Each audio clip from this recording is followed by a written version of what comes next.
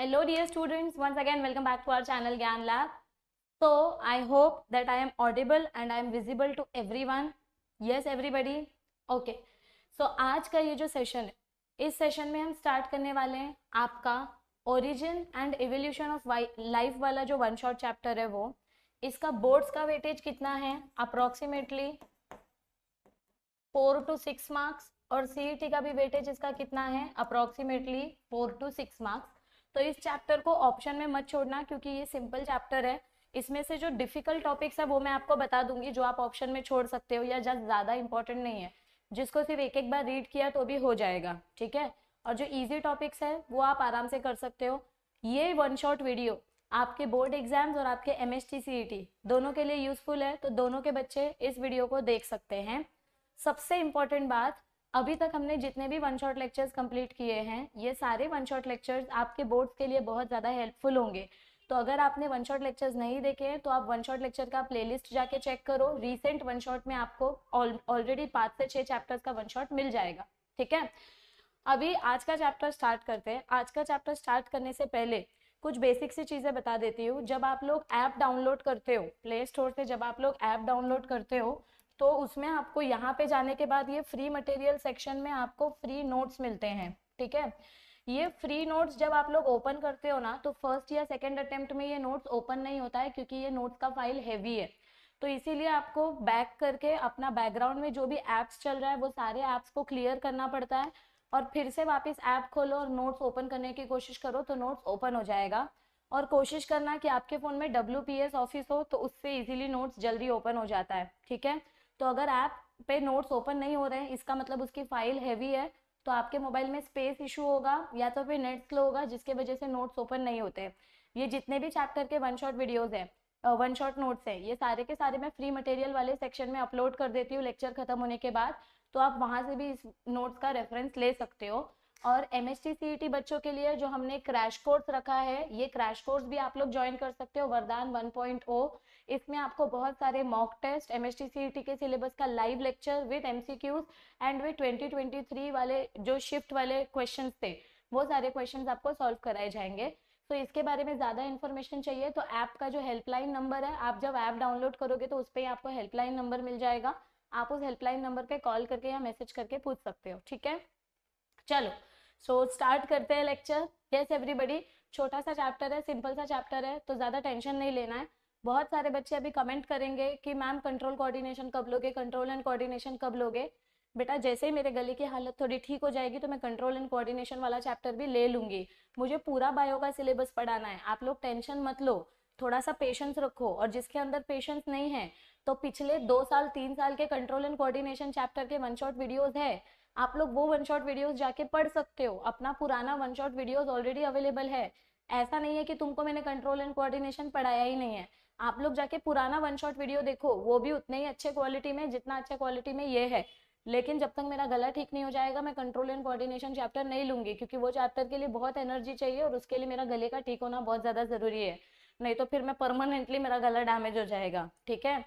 चलो so let start with our today's chapter that is origin and evolution of life अभी इस chapter के जितने भी कलरफुल बॉक्सेस होते हैं कैन यू रिकॉल बॉक्सेस होते हैं? Always remember do you remember ये सारे बॉक्सेस आपको सीईटी के पॉइंट ऑफ़ व्यू से इंपॉर्टेंट होते हैं और कभी कभी ऐसे बॉक्सेस में ही आपको बोर्ड्स में वन मार्क टू मार्क के क्वेश्चन पूछे जाते हैं। अब जैसे इधर पे पहला क्वेश्चन पूछा गया है व्हाट इज़ इवोल्यूशन तो आपने टेंथ स्टैंडर्ड में पढ़ा था। एवोल्यूशन मतलब क्या होता है? जैसे जैसे न्यू ऑफस्प्रिंग्स पैदा होते हैं तो उसमें जेनेटिक वेरिएशन देखने को मिलते हैं और वो जेनेटिक वेरिएशन को हम इवोल्यूशन बोलते हैं। Where was the first life formed ocean में सबसे पहला लिविंग सेल देखने को मिला था। Why are many species of plants and animals getting extinct बहुत सारे प्लांट्स और एनिमल्स के स्पीशीज एक्सटिंक्ट क्यों होते जा रहे हैं? लुप्त क्यों होते जा रहे हैं? Because of manmade activities because of artificial activities because of deforestation because of pollution water pollution air pollution etcetera etcetera Lamarck sir की थियोरी क्या थी? The Lamarck's theory of inheritance of acquired characters क्या थी? कि giraffe का नेक adaptation के वजह से लंबा हुआ। उसके पीछे जेनेटिक कॉन्सेप्ट क्या था, वो लेमार्क ने नहीं बताया, ठीक है? व्हाट इज़ स्पीसीएशन जब इवोल्यूशन के वजह से न्यू स्पीशीज बनती है तो उसको स्पीसीएशन बोलते हैं। स्पीसीएशन दो टाइप का होता है एलोपैट्रिक स्पीसीएशन और सिम्पैट्रिक स्पीसीएशन तो इसके बारे में हम इस चैप्टर में लास्ट लास्ट में डिटेल में पढ़ेंगे, ठीक है? अभी पहली चीज़, जो नीट वाले बच्चे हैं जो नीट वाले बच्चे हैं, जो सीईटी वाले बच्चे हैं, उन बच्चों को ये चीज़ें बहुत ज़्यादा इंपॉर्टेंट है। आपको जैसे जैसे आप थियोरी पढ़ोगे, आपको ये सारे पॉइंट्स मिलेंगे। ये मैंने अपनी तरफ़ से ऐड करके नहीं दिया, ये आपकी टेक्स्ट बुक में है, पर इसको पढ़ने के लिए आपको पूरा थियोरी रीड करना पड़ेगा। मैंने इधर पे आपको शॉर्ट बुलेट पॉइंट्स बना के दिए हैं। सबसे पहले यूनिवर्स कब ओरिजिनेट हुआ था? बिग बैंग थियोरी के according to billion year twenty billion years ago क्या कब ओरिजिनेट हुआ था ये? Twenty billion years ago origin of earth कब हुआ? यूनिवर्स बना बीस बिलियन ईयर्स अगो पहले। और अर्थ कब ओरिजिनेट हुआ? 4.5 बिलियन ईयर्स अगो बी मतलब बिलियन वाई मतलब ईयर और ए मतलब अगो 4.5 बिलियन ईयर्स अगो ठीक है? अर्थ पे पहला लिविंग साइन कब देखने को मिला? कि हाँ यहाँ पे भी कोई लिविंग ऑर्गेनिज्म रह सकता है। फोर बिलियन ईयर्स अगो पहले। And origin of organic macromolecules यानी आरएनए और प्रोटीन्स का ओरिजिनेशन अर्थ पे, कब देखने को मिला? थ्री बिलियन ईयर्स अगो पहले। और first living cell first living cell हमको कब देखने को मिला? टू बिलियन ईयर्स अगो पहले। ठीक है?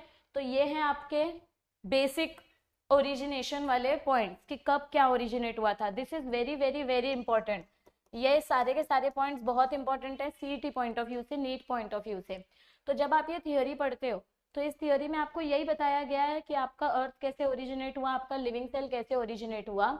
उसको बोलते हैं प्रोटोबायोजेनेसिस प्रोटोबायोजेनेसिस मतलब क्या होता है? Formation of first living cell proto मतलब फ़र्स्ट बायो मतलब लिविंग सेल जेनेसिस मतलब फॉर्मेशन ठीक है? तो जब जब जब हम ओरिजिन ऑफ़ लाइफ की बात करते हैं तो अभी भी बहुत सारे पढ़े लिखे और फिलोसॉफिकल लोग जो है बड़े बड़े साइंटिस्ट और नेचुरलिस्ट जो है उनको अभी भी इस चीज़ का कंफर्मेशन नहीं है। They are still in doubt enigma मतलब डाउट में है कि अभी भी उनको कंफर्म नहीं पता कि फ़र्स्ट लिविंग सेल किधर से आया। मुर्गी पहले आई कि अंडा पहले आया एटसेट्रा एटसेट्रा इसके ऊपर बहुत सारा कंट्रोवर्शियल थियोरी है। अंडा बनाने के लिए जो प्रोटीन चाहिए रहता है, वो मुर्गी से मिलता है, इसीलिए मुर्गी पहले आई। या फिर अंडा पहले आया तो इसके ऊपर ना बहुत सारा कॉन्ट्रोवर्सीज चालू है। लेट्स नॉट गो देर तो बहुत सारे इंटेलेक्चुअल्स बहुत सारे पढ़े लिखे साइंटिस्ट वगैरह, ये सब अभी भी इस चीज़ को फाइंड आउट कर रहे हैं कि फ़र्स्ट लिविंग सेल कब ओरिजिनेट हुआ था। और इसी चीज़ को कंफर्म करने के लिए बहुत सारी अलग अलग थियोरीज हमको दी गई, जिसमें से पहली थियोरी थी mythological theory theory of special creation इसमें क्या बोला गया ये सबसे पुरानी थियोरी है और इसमें कोई साइंटिफिक प्रूफ नहीं है।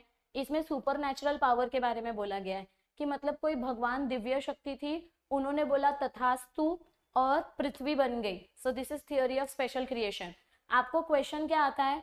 Name the four theories of protobiogenesis आपको सिर्फ़ इसका नाम पता होना चाहिए। तो पहला नाम है थियोरी ऑफ़ स्पेशल क्रिएशन जिसका कोई साइंटिफिक प्रूफ नहीं था। दूसरा थियोरी है कॉस्मोजोइक थियोरी या theory of pan sorry cosmozoic theory या थियोरी ऑफ़ पैंसपर्मिया इस थियोरी में क्या बोला गया है कि अर्थ पे लिविंग ऑर्गेनिज्म बना ही नहीं है। अर्थ में लिविंग ऑर्गेनिज्म किसी दूसरे प्लेनेट से आया है। मतलब कि जो लिविंग ऑर्गेनिज्म है, ये अर्थ पे नहीं बना है did not arise on planet earth ये किसी दूसरे प्लानट से हमारे अर्थ पे आया है और इस थियोरी को हम बोलते हैं पैंसपर्मिया थियोरी और रिसेंटली नासा ने भी ये रिपोर्ट किया है कि हमको बैक्टीरिया के फॉसिल्स वगैरह देखने को मिले हैं मार्स पे। मतलब मार जब मीटियोराइड्स आता है तो मार्स का एक छोटा सा टुकड़ा एंटार्क्टिका में देखा गया और एंटार्क्टिका के जब उस मार्स के टुकड़े को स्टडी किया तो उस मार्स के पत्थर पे हमको बैक्टीरिया के थोड़े से फॉसिल्स मिले। इसका मतलब मार्स पे बैक्टीरिया है, इसका मतलब मार्स पे लिविंग ऑर्गेनिज्म रह सकते हैं। तो अभी इसके वजह से बहुत सारे लोगों ने, बहुत सारे सेलिब्रिटीज और पॉलिटिशियंस ने मून पे, मार्स पे अपना अपना ज़मीन खरीदना चालू कर दिया है कि अगर धरती तबाह हो गई तो फिर हम जाके मार्स को बर्बाद करेंगे, मून को बर्बाद करेंगे, है ना? हर जगह पे ह्यूमंस को अपनी नाक घुसानी है, ठीक है? ओके, चलो आगे देखते हैं। Theory of spontaneous generation. तो थियोरी ऑफ़ स्पॉन्टेनियस जनरेशन में क्या बोला है कि आपके लिविंग ऑर्गेनिज्म ऐसे ही किसी नॉन लिविंग ऑर्गेनिज्म से पैदा हो जाते हैं। एक महान साइंटिस्ट थे वैन हेलमोंट। इन्होंने क्या किया? इन्होंने चूहे बनाने की रेसिपी दी हमको। चूहे पकाने की नहीं, चूहे पैदा करने की रेसिपी इन्होंने क्या किया था ऑब्ज़र्व कि इन्होंने बहुत सारे गंदे कपड़े रखे थे। ये गंदे कपड़े में स्वेट था। स्वेट में आपका सॉल्ट रहता है। और इन्होंने उसके साथ कुछ गेहूँ मिक्स कर दिए थे। तो वो सॉल्ट के वजह से मॉइस्चर एब्जॉर्ब हुआ होगा, जिसके वजह से आपका गेहूँ गीला हो गया होगा, जिसकी वजह से जो चूहे थे, वो चूहे इस ढेर में अट्रैक्ट हो गए होंगे। तो जब 21 दिन के बाद ये कपड़े का बंडल हटाया तो उसमें बहुत सारे चूहे देखे गए। इसका ये मतलब नहीं है कि कपड़े में से चूहे पैदा हुए, नहीं तो कपड़े के कलर के चूहे होते। यस और नो सो ये थियोरी वैन हेलमोंड सर की थी, जिसमें हमको बोला गया था कि इसमें नॉन लिविंग मटेरियल से आपको लिविंग ऑर्गेनिजम्स मिलते हैं बट ये थियोरी टोटली इलॉजिकल थियोरी थी और इसको रॉन्ग किसने प्रूव किया? लुइस पास्चर ने। इस थियोरी को हम अबायोजेनेसिस भी बोलते हैं। अबायोजेनेसिस मतलब क्या होता है? नॉन लिविंग ऑर्गेनिजम्स की theory is this clear everybody फिर नेक्स्ट था रेडीज एक्सपेरिमेंट और लुइस पास्टर तो लुइस पास्टर ने इस थियोरी को रॉन्ग कैसे प्रूव किया? पहला एक्सपेरिमेंट था रेडीज एक्सपेरिमेंट इस एक्सपेरिमेंट में क्या बोला गया है? हमने पहले तो कुछ मीट का सैंपल लिया। उस मीट के सैंपल को हमने ग्लास के जार में बंद किया और उसके ऊपर हमने क्लोज लिड लगा दिया। अगर आप ढक्कन को बंद कर दोगे तो ना तो अंदर का स्मेल बाहर आएगा, ना बाहर से कोई मच्छर अंदर जाएगा। तो इसमें आपको कोई भी मच्छर या कोई भी कीड़े मकोड़े की ग्रोथ देखने को नहीं मिलेगी। मैगट्स मतलब जो छोटे छोटे कीड़े होते हैं, जो चावल में देखने को मिलते हैं ना छोटे छोटे व्हाइट कलर के। लेकिन अगर मैंने इस ढक्कन को निकाल के इसके ऊपर सिर्फ़ एक कपड़ा लगा दिया तो कपड़े में से तो आसानी से आपका गैस पास होता है, ऑक्सीजन पास होता है, स्मेल बाहर आती है, क्योंकि कपड़े के अंदर छोटे छोटे पोर्स होते हैं। तो जब मैंने ये ढक्कन निकाल दिया और इसके ऊपर सिर्फ़ मैंने क्लॉथ रख दिया तो मुझे क्या देखने को मिला कि वो स्मेल की वजह से इधर पे फ्लाइज भी अट्रैक्ट हो रही है और मैगट्स भी अट्रैक्ट हो रहे हैं। इसका मतलब अगर गैसियस एक्सचेंज होगा तो ऑर्गेनिजम्स आएँगे। और अगर मैंने ढक्कन पूरा खोल दिया तो ऑब्वियसली मक्खी और कीड़े अंदर चले जाएँगे। इसका ये मतलब नहीं है कि मीट में से मच्छर ग्रो हो रहे हैं। इसका ये मतलब है कि उस मीट की खुशबू की वजह से मच्छर अट्रैक्ट हो रहे हैं। तो ये थियोरी रिजेक्ट हो गई थी। लुइस पास्टर ने इसको कैसे डिसअप्रूव किया? उन्होंने एक्सपेरिमेंट किया swan neck experiment what is swan neck swan मतलब क्या होता है? हंस जैसा। जैसे हंस की गर्दन होती है ना, ऐसे सुराहीदार गर्दन होती है। एकदम ऐसे, क्या बोलते हैं उसको? मस्त फ्लेक्सिबल नेक होता है। तो इन्होंने क्या किया? ये देखो, ये इनका ऐसा एकदम फ्लेक्सिबल नेक था। तो इन्होंने ना एक न्यूट्रिएंट लिया। ब्रॉथ मतलब क्या होता है? न्यूट्रिएंट लिक्विड इसमें carbon hydrogen nitrogen protein amino acid सब है। इसको इन्होंने अच्छे से बॉईल किया ताकि इसके अंदर जो भी माइक्रो ऑर्गेनिजम्स होंगे वो मर जाएँगे। अब ये ब्रॉथ फ्री है, इसके अंदर कोई भी माइक्रो ऑर्गेनिज्म नहीं है। अब इस ब्रॉथ को इन्होंने कवर करके रखा था। जब तक ये ब्रॉथ कवर्ड था, इसके अंदर आपको एक भी बैक्टीरिया नहीं दिखाई दे रहा है। लेकिन जैसे ही मैंने इसके ऊपर से ये ढक्कन निकाल दिया तो मुझे इसके अंदर माइक्रो ऑर्गेनिजम्स की ग्रोथ दिखाई दे रही है। इसका मतलब क्या? जहाँ पे न्यूट्रिएंट होगा, उधर ही माइक्रो ऑर्गेनिजम्स ग्रो होंगे। बिना न्यूट्रिएंट के माइक्रो ऑर्गेनिजम्स नहीं आ सकते। इसमें पहले से माइक्रो ऑर्गेनिजम्स नहीं है। जब मैंने इस ढक्कन को ओपन किया तो एयर में जो माइक्रो ऑर्गेनिजम्स हैं, वो माइक्रो ऑर्गेनिजम्स अंदर जाके ग्रो हो रहे हैं। अंदर खुद से माइक्रो ऑर्गेनिजम्स नहीं बन रहे। क्योंकि अगर खुद से माइक्रो ऑर्गेनिजम्स बनते तो आपको इसके अंदर माइक्रो ऑर्गेनिज्म देखने मिलते। पर यहाँ पे तो माइक्रो ऑर्गेनिज्म नहीं है। इसका मतलब जब मैं ढक्कन ओपन कर देती हूँ तो अपने एयर में जो माइक्रो ऑर्गेनिज्म रहते हैं, ये माइक्रो ऑर्गेनिज्म अंदर जाके ग्रोथ दिखाते हैं। इज़ दिस क्लियर एवरीबडी आगे क्या बताया है? थियोरी ऑफ़ बायोजेनेसिस अब इस थियोरी में क्या बताया गया हमको? According to this theory living organisms are always produced from pre existing one मतलब नया ऑर्गेनिज्म हमेशा अपने पुराने ऑर्गेनिज्म से ही बन के आता है। रिप्रोडक्शन करके ही हमको नया ऑर्गेनिज्म मिलता है। लेकिन वो ओरिजिनल ऑर्गेनिज्म किधर से आया? वो अपने को अभी भी नहीं पता चला। थियोरी ऑफ़ बायोजेनेसिस से हमको ये तो पता चला कि न्यू ऑर्गेनिज्म किधर से आता है। पर वो जो ओल्ड ऑर्गेनिज्म है, वो ऑर्गेनिज्म किधर से आया, वो हमको नहीं पता चला। सिर्फ़ हमको कंटिन्यूटी ऑफ़ लाइफ के बारे में पता चला बट फ़र्स्ट ऑर्गेनिज्म किधर से आया वो नहीं पता चला, ठीक है? तो this was first theory next theory क्या है? Chemical evolution of life chemical evolution of life में हमको क्या बताया गया है? अकॉर्डिंग टू दिस थियोरी हमारा जो फ़र्स्ट लिविंग सेल था वो अलग अलग केमिकल रिएक्शंस के वजह से बना और ये थियोरी हमको किसने दी थी? ये क्वेश्चन आपके बोर्ड्स में भी आता है और सीईटी में भी आता है। JBS Haldane and Alexander Oparin ये दो अलग अलग साइंटिस्ट ने मिलके हमको ये थियोरी दी थी केमिकल थियोरी ऑफ़ लाइफ या केमिकल इवोल्यूशन ऑफ़ लाइफ कि केमिकल्स के मदद से आपका फ़र्स्ट लिविंग सेल बना। देखो, जब अर्थ बना था ना तो earth was a cloud of hot gases मतलब स्टार्टिंग में जब आपका अर्थ बना था जिसको हम नेब्यूला बोलते हैं। It was a cloud of hot gases अब जैसे जैसे ये गैस कूल होते गया वैसे वैसे इस गैस का कंडेंसेशन होते गया। कंडेंसेशन की वजह से अलग अलग गैलेक्सीज अलग अलग प्लैनेट्स बनते गए। ठीक है? अलग अलग गैलेक्सीज बनते गया, जिसमें से मिल्की वे एक गैलेक्सी है। उस गैलेक्सी में अर्थ अपना एक छोटा सा प्लैनेट है। मतलब अलग अलग सोलार सिस्टम्स हैं और उस सोलार सिस्टम में अपना अर्थ भी आता है। और ये कब बना था? अर्थ कब बना था? 4.6 बिलियन ईयर्स अगो तो इधर पे हमने पढ़ा ना 4.5 बिलियन तो इधर पे 4.6 ले लो। It it's one and the same thing ठीक है?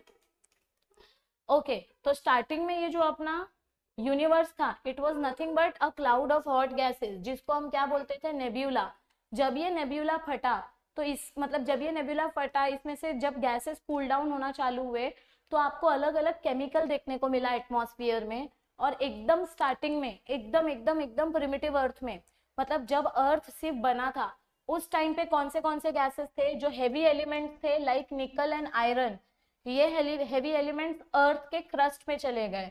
कोर मतलब किधर चले गए ये एलिमेंट अर्थ क्रस्ट में।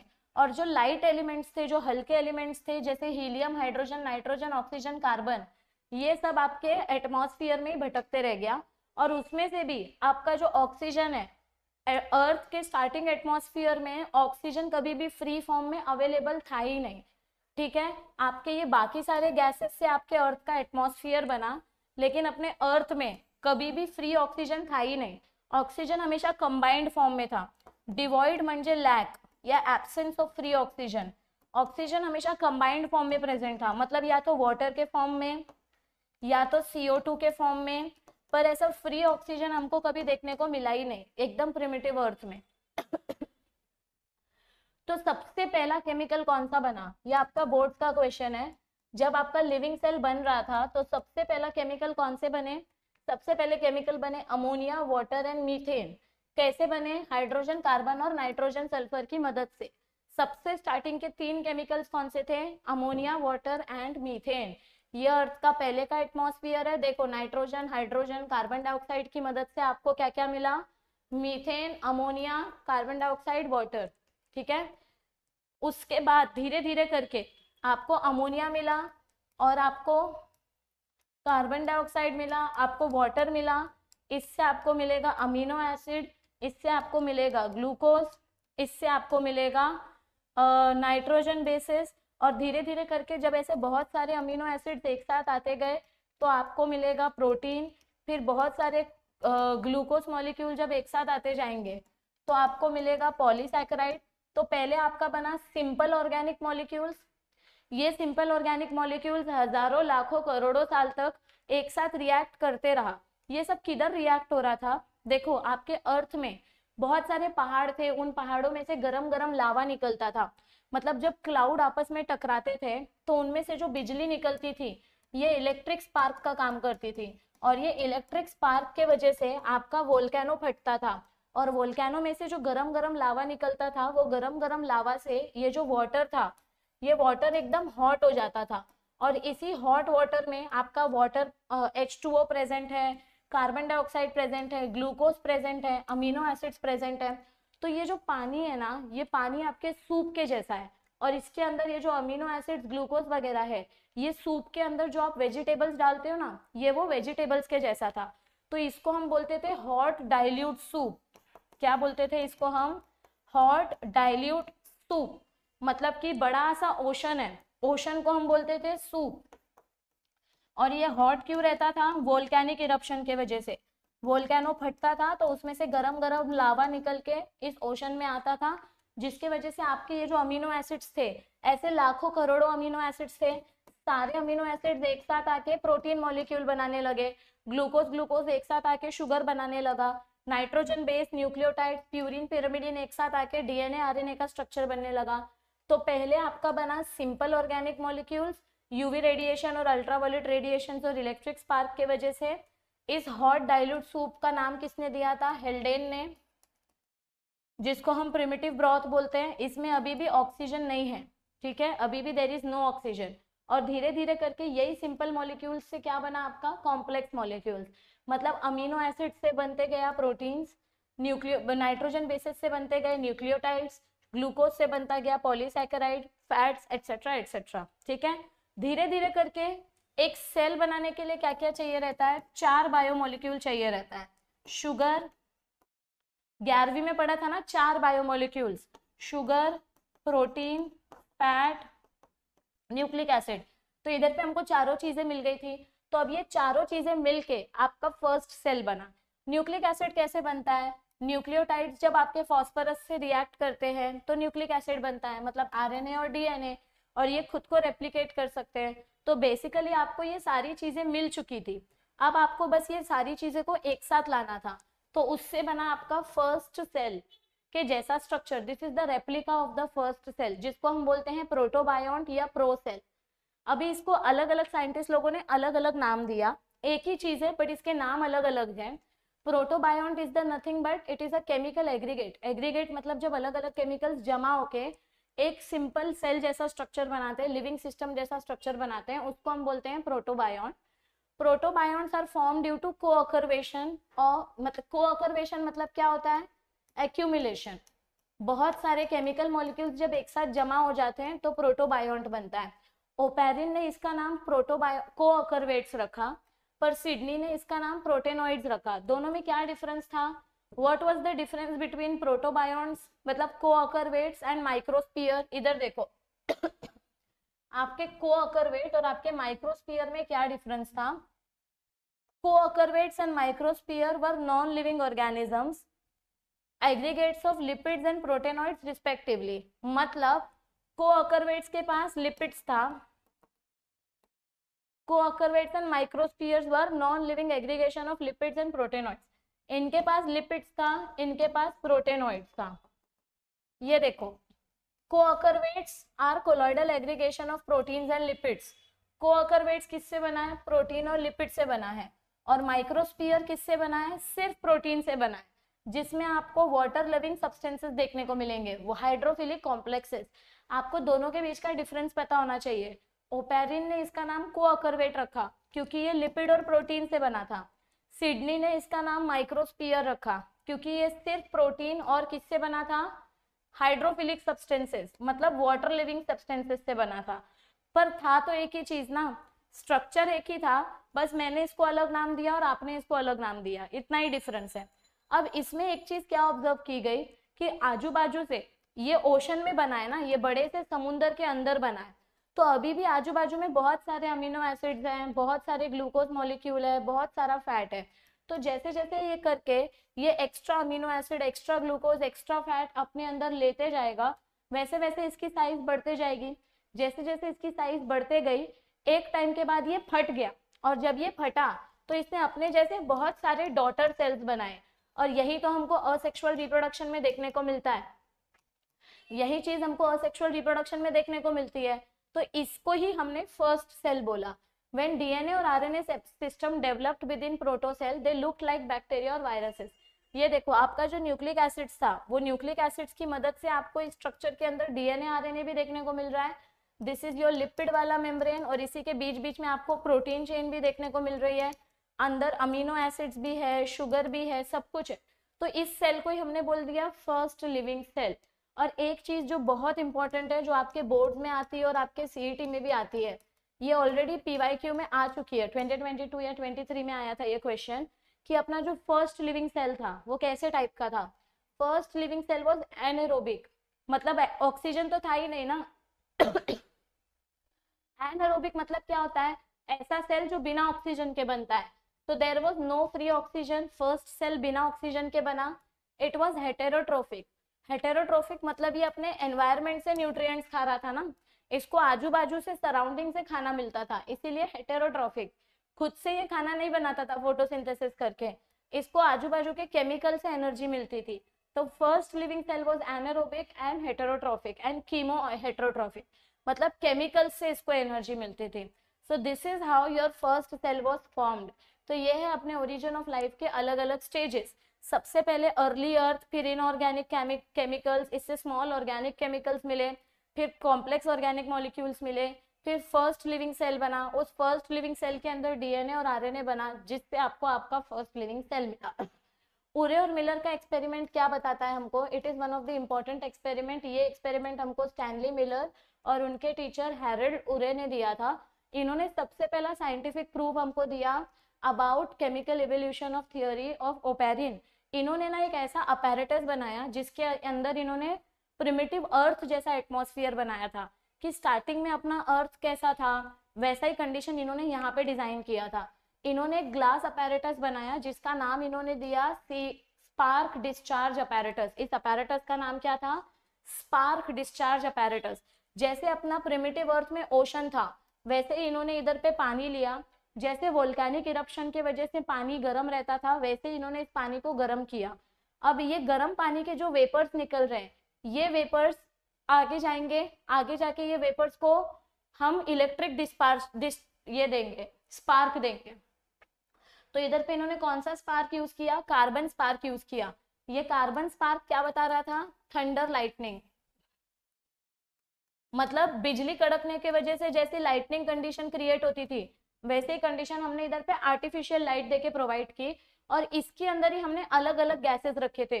क्योंकि जब अपना अर्थ बन रहा था, तभी स्टार्टिंग में सबसे पहले गैसेस कौन से बने थे?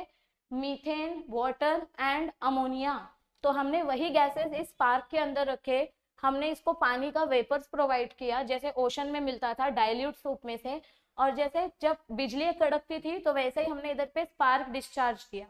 अब ये गैसेस जब आगे पास होते थे तो इस गैस को वेपर में कन्वर्ट करने के लिए लिक्विड फॉर्म में कन्वर्ट करने के लिए हमने आसपास में कंडेंसर लगाया था। तो आपका ये जो गैसेस था, ये गैसेस लिक्विड फॉर्म में कन्वर्ट हो गया। अब ये लिक्विड फॉर्म में जब कन्वर्ट हुआ तो इसको कलेक्ट करने के लिए हमने इधर से एक ओपनिंग रखी थी। ये लिक्विड में जब हमने केमिकल टेस्ट किया तो हमको इसके अंदर अमीनो एसिड सबसे पहले देखने को मिले। तो देखो ओरे और मिलर ने आपका मीथेन, अमोनिया और हाइड्रोजन गैस कौन से कॉन्सेंट्रेशन में लिया था? वो इंपॉर्टेंट है। Two is to one is to two ये आपको नीट की बुक में दिया है। आपकी बुक में ऐसा उल्टा पुल्टा दिया है, पर आपको ये ऐसा कॉन्सेंट्रेशन याद रखना है। तो इन्होंने इस ग्लास चेम्बर में ये तीन गैसेस रखे थे। इस तीन गैस में ये वाटर वेपर आता था, इस गैस के साथ रिएक्ट करता था और इसमें हम कार्बन स्पार्क देते थे, जिसकी वजह से केमिकल रिएक्शन बूम रिएक्शन होता था। और फिर वही गैसेस आगे आगे पास होते थे और उन गैसेस को कंडेंस करने के लिए हमने इधर पे कंडेंसर लगा के रखा था। अब इधर पे जो भी रिएक्शन होके आपका केमिकल जमा हुआ है, वो केमिकल लिक्विड फॉर्म में कन्वर्ट हो जाएगा और इस लिक्विड को कलेक्ट करके हमको क्या पता चला कि सबसे पहले ये एक्सपेरिमेंट बहुत दिन तक चलता रहा, कुछ अठारह उन्नीस दिन तक ये एक्सपेरिमेंट चलता रहा और जब हमने उस केमिकल लिक्विड को कलेक्ट किया तो हमको क्या पता चला कि उसके अंदर सिंपल ऑर्गेनिक एसिड्स बने थे, जैसे urea amino acid lactic acid etcetera और इस एक्सपेरिमेंट्स में सबसे ज़्यादा क्या प्रूव हुआ? That simple molecule present in earth atmosphere combined to form organic building blocks of life यानी कि जो ओपेरिन और हेल्डेन ने प्रूव किया था कि भाई लिविंग ऑर्गेनिज्म केमिकल्स से मिलके बना है, उसी एक्सपेरिमेंट को उरे और मिलर ने कंफर्म किया। और तीन अमीनो एसिड्स कौन से मिले थे हमको? सबसे पहले ग्लाइसिन, एलेनिन और एस्पार्टिक एसिड। ये क्वेश्चन सिर्फ़ आपको नीट में पूछा जाता है सीईटी और बोर्ड्स में नहीं पूछा जाता है। Is this clear everybody RNA world hypothesis में क्या बोला गया है? ये एक टाइप का हाइपोथेसिस है। इसमें क्या एक्सप्लेन किया गया है कि सबसे पहले आरएनए बना था डीएनए नहीं बना था। सबसे पहले आरएनए डिस्कवर हुआ था। देखो साइंटिस्ट लोगों का लॉजिक क्या था? आरएनए सिंगल स्टैंडर्ड रहता है डीएनए डबल स्टैंडर्ड रहता है। तो ऑब्वियसली सिंगल स्टैंडर्ड स्ट्रक्चर जल्दी बनेगा। तो पहले आरएनए बना होगा, एक आरएनए बना, फिर दूसरा आरएनए बना और इन दोनों के बीच में बॉन्ड बन के आपका डीएनए बना होगा। तो साइंटिस्ट लोगों का ये अजम्पन था कि पहले आरएनए बना, फिर डीएनए बना। पर बाद में उनको पता चला कि भाई डीएनए से ही अलग अलग टाइप के आरएनए बनते हैं, जैसे M R N A R R N A T R N A तो ये उनका एक हाइपोथेसिस था कि पहले आरएनए बना होगा, फिर डीएनए बना होगा। पर ये चीज़ आगे जाके गलत प्रूव हुई जब आपको डीएनए जेनेटिक मटेरियल के लिए अलग अलग एक्सपेरिमेंट्स किए गए। हाँ इसी टाइम पे ना एक स्पेशल एंजाइम्स के बारे में भी बताया गया था। नेचर में ऐसे स्पेशल प्रोटीन्स प्रेजेंट होते हैं जिनको हम एंजाइम्स बोलते हैं।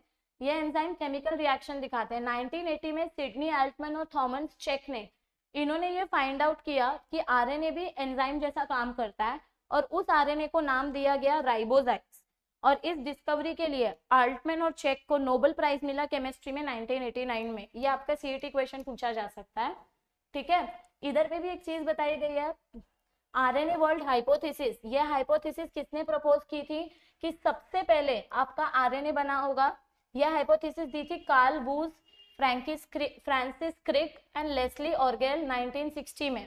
मतलब राइबोजाइम बनने से पहले आरएनए का हाइपोथेसिस आया। और फिर राइबोजाइम्स की हाइपोथेसिस मिली। ये 1989 में मिली या 1916 में दी गई थ्योरी तो इसके अकॉर्डिंग ये पता चला कि आरएनए सबसे पहले बना है, उसके बाद डीएनए बना है बट ये थियोरी आगे जाके डिसअप्रूव होगी, ठीक है? तो ये molecular basis of inheritance chapter में अपन ने पढ़ा ऑलरेडी कि डीएनए को जेनेटिक मटेरियल क्यों बोलते हैं? क्योंकि उससे आपका आरएनए बनता है। So this is how your RNA world hypothesis was explained चलो जल्दी जल्दी एमसीक्यूज का आंसर बताओ। फ़र्स्ट क्वेश्चन क्या क्या आएगा? सबसे पुरानी थियोरी कौन सी है? ओरिजिन ऑफ़ लाइफ की।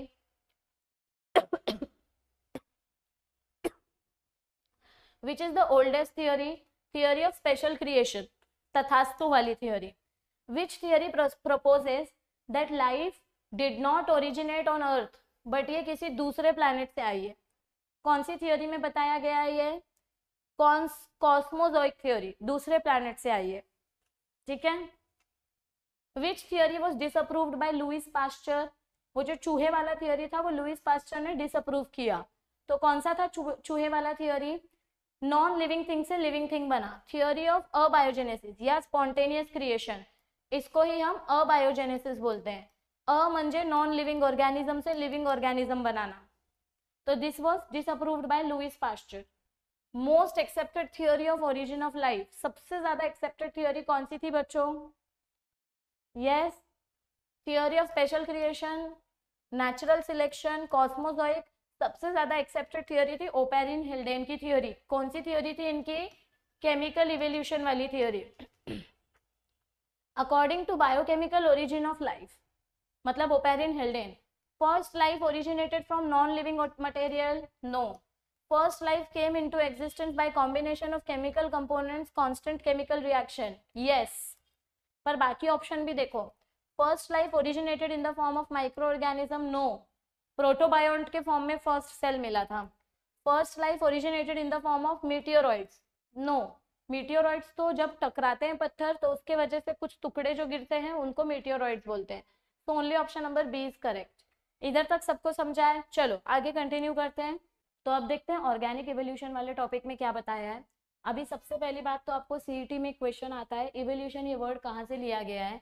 तो इवोल्यूशन ये एक लैटिन टर्म है, जिसमें ई e का मतलब होता है फ्रॉम और वॉलवेयर का मतलब होता है रोल मतलब दुनिया घूम के फिर से उसी जगह आती है.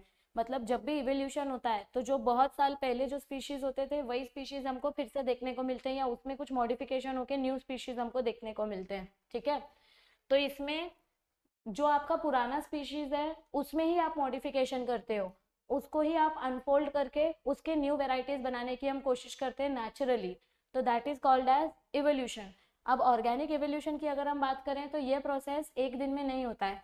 इट इज़ अ ग्रेजुअल मतलब ये धीरे धीरे कंटिन्यूसली सदियों तक होते रहता है, होते रहता है, होते रहता है और ये इरिवर्सिबल प्रोसेस है. मतलब एक बार अगर एवोल्यूशन हो गया तो आप फिर से पीछे नहीं जा सकते. मैंने इधर पे क्या बोला? घूम के फिर से उधर ही आते हैं. वो एक ऐसे मतलब सार्केस्टिक वे था बोलने का। पर यहाँ पे एवोल्यूशन का मतलब क्या होता है कि आप, जो आपकी ओरिजिनल स्ट्रक्चर है, जो ओरिजिनल जेनेटिक स्ट्रक्चर है, उसमें ही कुछ मॉडिफिकेशन होकर आपको न्यू वेराइटी मिलती है। आसमान से न्यू ऑर्गेनिजम्स नहीं टपकते, ठीक है? तो अभी जब हम ऑर्गेनिक एवोल्यूशन की बात करते हैं तो चार्ल्स डार्विन सर का यहाँ पे बहुत इंपॉर्टेंट रोल आता है। चार्ल्स डार्विन सर ने हमें क्या बताया था? Descent with modification descent with modification मतलब क्या होता है? जब भी हमारी न्यू पीढ़ी आती है, जब भी हमारी नेक्स्ट जनरेशन आती है तो वो नेक्स्ट जनरेशन में हमको हमेशा कुछ अलग कैरेक्टर्स दिखाई देते हैं। अब वो अलग कैरेक्टर्स यूजफुल भी हो सकते हैं हार्मफुल भी हो सकते हैं बट अलग कैरेक्टर्स होते हैं। यानी वेरिएशन तो कंफर्म होता है। इसको ही बोलते हैं इवोल्यूशन या डिसेंट विथ मॉडिफिकेशन और ये चीज़ें चार्ल्स डार्विन सर ने बहुत सारे ऑब्जर्वेशन करने के बाद हमको बताई थी कि इंटरनल फोर्सेस के वजह से जब आप कोई कैरेक्टर एक्वायर करते हो, या फिर एनवायरनमेंट की वजह से जब आप खुद को चेंज करते हो, या जब कोई ऑर्गन आप यूज़ करना बंद कर देते हो, या यूज़ करना चालू कर देते हो तो इसके वजह से ही जनरेशन आफ्टर जनरेशन हमको न्यू वेरिएशन देखने को मिलते हैं और रिवोल्यूशन देखने को मिलता है। ठीक है?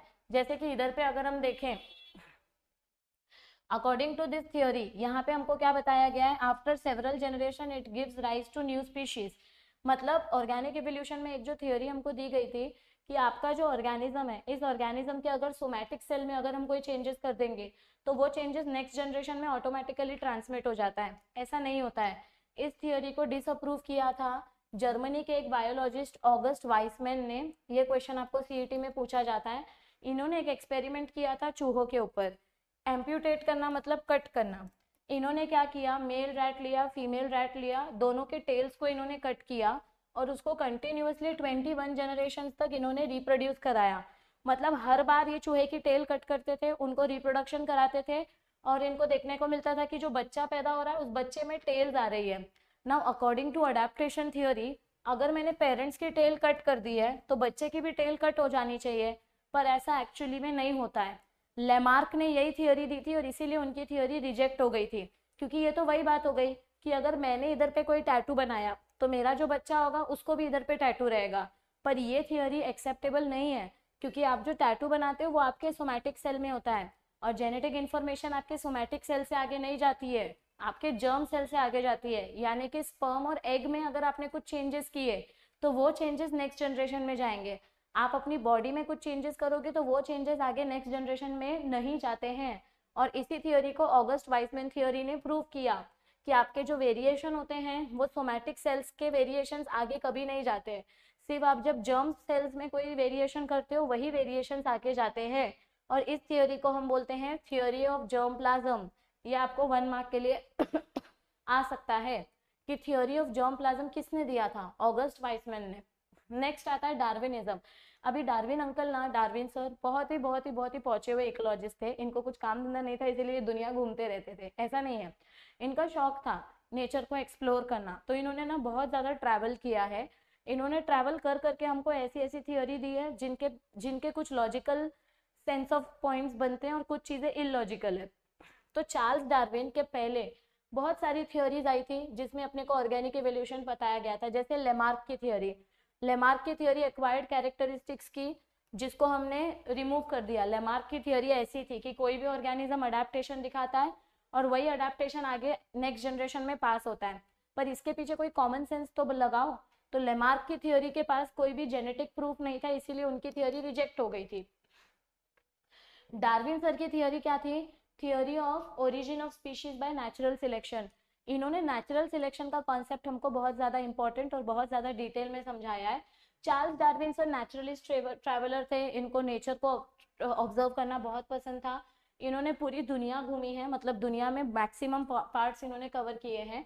इन्होंने अपनी जर्नी चालू की थी 27 दिसंबर 1831 को और ख़त्म की अक्टूबर 1836 में और ये फिर से अपने होम टाउन इंग्लैंड में आ गए। इन्होंने बहुत सारे सैंपल्स कलेक्ट किए living fossil fuels dead fossil fuels, जिसकी मदद से इन्होंने एक बुक लिखी, the origin of species by natural selection, पर बुक लिखना खाने का काम नहीं होता है। इनका रिसर्च 1836 में खत्म हो गया था, पर बुक लिखने के लिए इनको देखो कितने साल लग गए।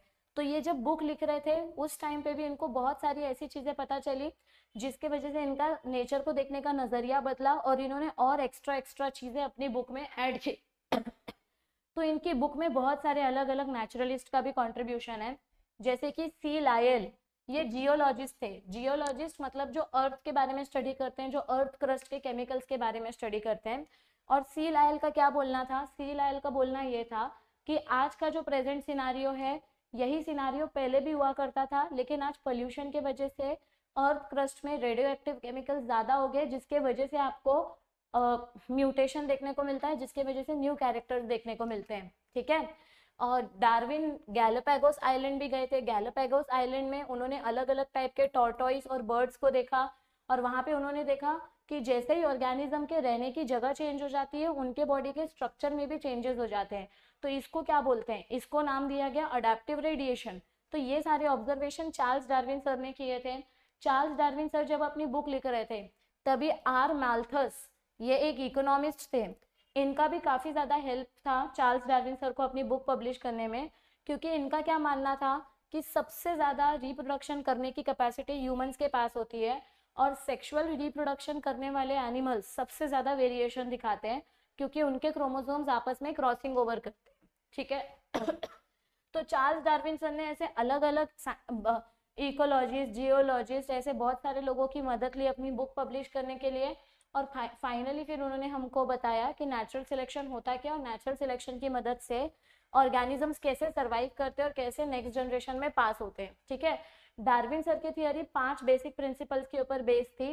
सबसे पहला था ओवर प्रोडक्शन दूसरा वेरिएशन एंड हेरिडिटी तीसरा स्ट्रगल फॉर एक्सिस्टेंस चौथा सर्वाइवल ऑफ़ द फिटेस्ट पांचवा modification of species over production की अगर मैं बात करूँ तो समझो कि ये कोई ऑर्गेनिज्म है जो बहुत सारे अंडे देता है। मतलब समझो एक साल में अगर मैं सालमन फ़िश की बात करूँ तो एक साल में सालमन फ़िश एक सिंगल सीज़न में, साल में भी नहीं, एक सिंगल ब्रीडिंग सीज़न में ये मच्छी 28 लाख अंडे देती है। लेकिन ये अंडे सारे के सारे सर्वाइव थोड़ी करेंगे, क्योंकि जितने ज़्यादा अंडे रहेंगे, उतना ज़्यादा न्यूट्रिशन चाहिए रहेगा। उतना ज़्यादा न्यूट्रिशन नेचर में अवेलेबल नहीं है तो ऑर्गेनिजम्स के बीच में कॉम्पिटिशन होता है। और जो सबसे ज़्यादा स्ट्रॉन्ग स्पीशीज होता है, जिसको न्यूट्रिएंट मिलता है, वो स्पीशीज सर्वाइव करती है। जिसको न्यूट्रिएंट नहीं मिलता है, वो स्पीशीज मर जाती है। तो ओवर प्रोडक्शन मतलब क्या होता है? प्रोडिगैलिटी ऑफ़ नेचर मतलब इसमें ऑर्गेनिजम्स रिप्रोडक्शन करके अपना पॉपुलेशन बढ़ाते हैं। बट उसी टाइम पे नेचुरल रिसोर्सेज का अवेलेबिलिटी भी बहुत ज़्यादा इंपॉर्टेंट है। खाने को ही नहीं रहेगा तो बच्चे बढ़ेंगे कैसे? So this is over production over production के वजह से आया स्ट्रगल फॉर एग्जिस्टेंस इतने सारे बच्चे पैदा हुए हैं, अब उसमें से जिन बच्चों को खाना मिलेगा, वही बच्चे आगे सर्वाइव करेंगे। तो जो बच्चा सर्वाइव करेगा, वो आगे जिएगा। तो that is struggle for existence और जो बच्चे एग्जिस्ट करेंगे मतलब सर्वाइवल ऑफ़ द फिटेस्ट की वजह से उन्होंने एग्जिस्टेंस दिखाया। अब उनके वजह से हमको ऑर्गेनिक वेरिएशन देखने को मिलता है। मतलब देखो, आपको नेचर में ना सबका एम्ब्रियो स्टेज सबका सेम देखने को मिलता है।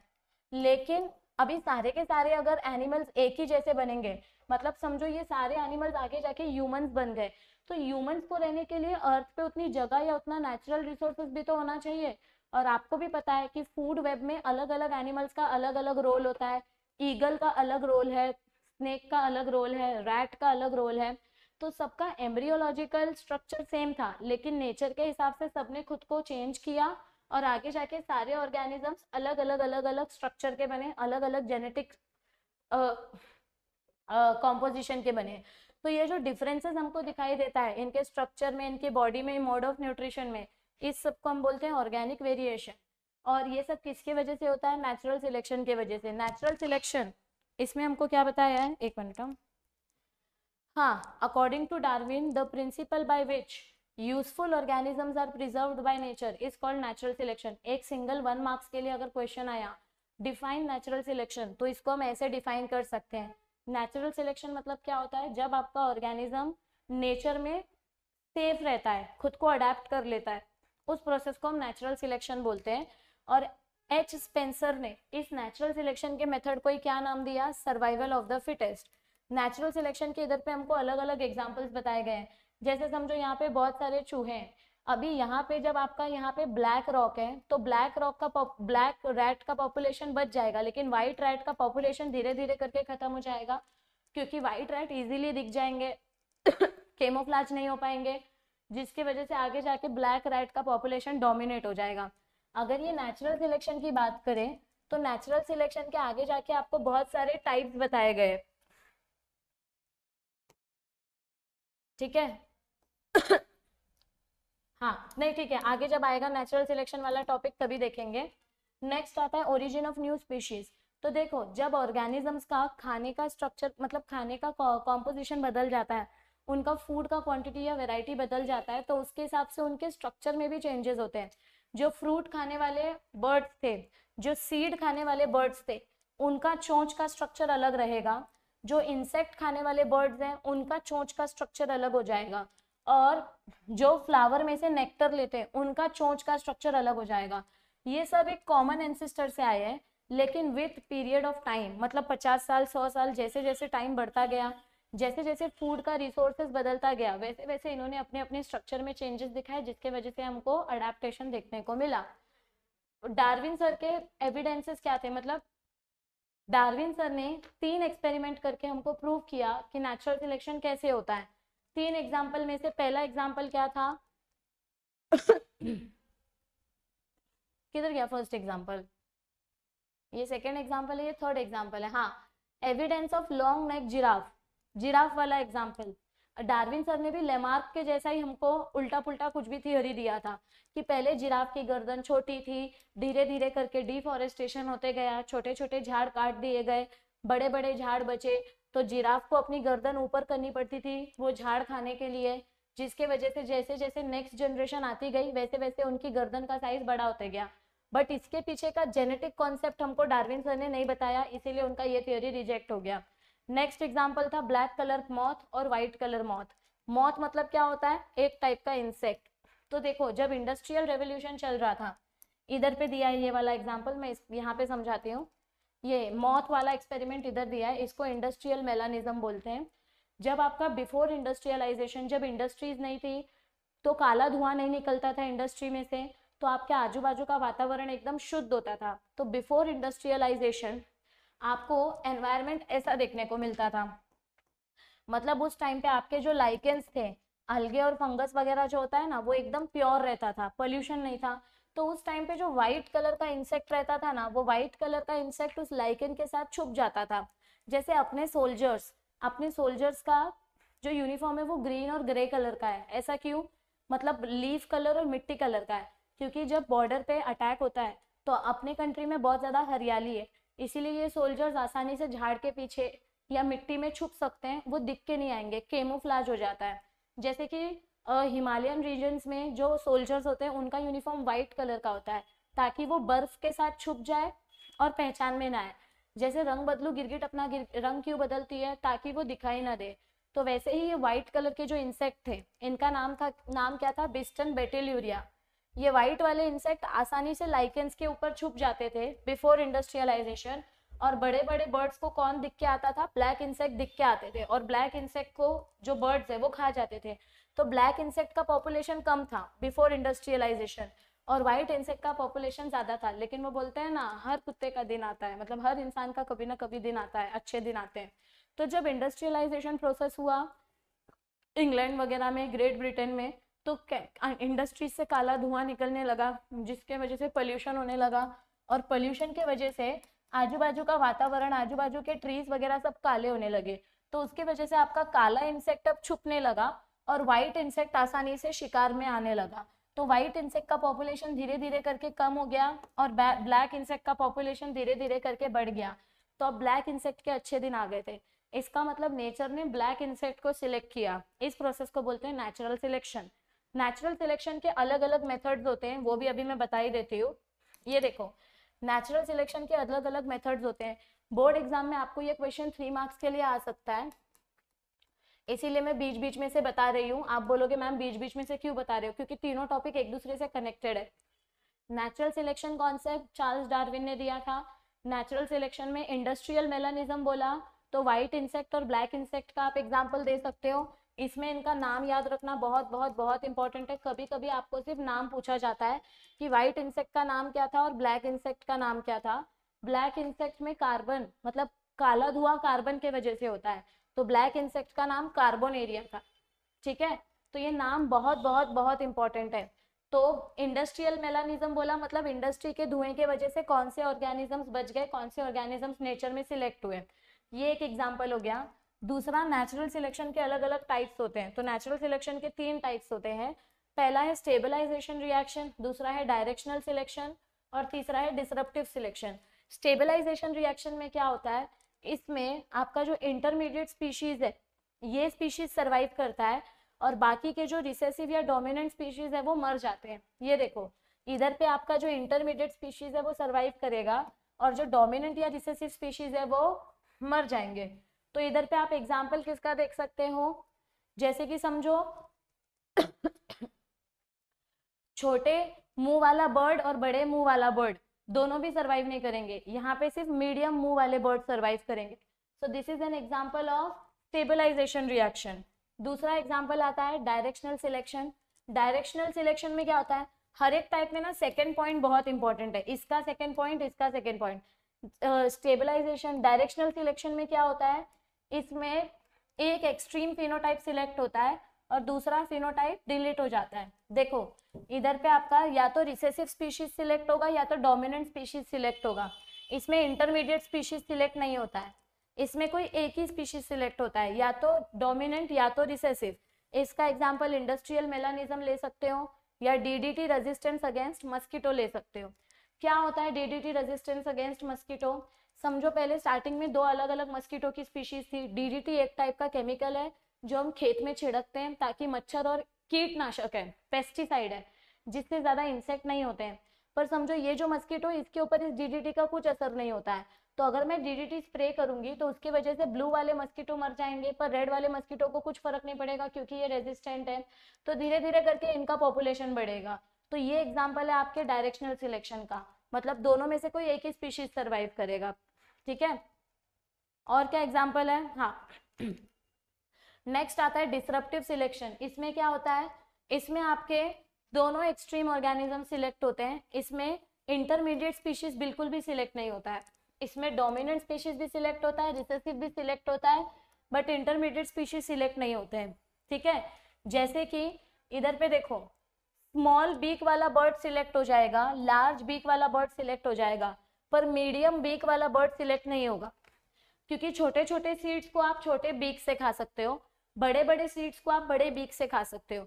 पर अगर आपका बीक नॉर्मल साइज़ का है मतलब मीडियम साइज़ का है तो अगर आप छोटा दाना उठाने जाओगे तो वो गिर जाएगा और बड़ा दाना आपके मुँह में जाएगा नहीं। तो अफ्रीका में ये हमको देखने को मिलता है कि यहाँ पे आपको या तो स्मॉल साइज़ वाले बर्ड्स देखने को मिलते हैं जिनका बीक का साइज़ स्मॉल हो या तो लार्ज इंटरमीडिएट साइज़ के बर्ड्स आपको देखने को नहीं मिलते हैं। तो ये तीन टाइप का नेचुरल सिलेक्शन आपको याद रखना है, ठीक है?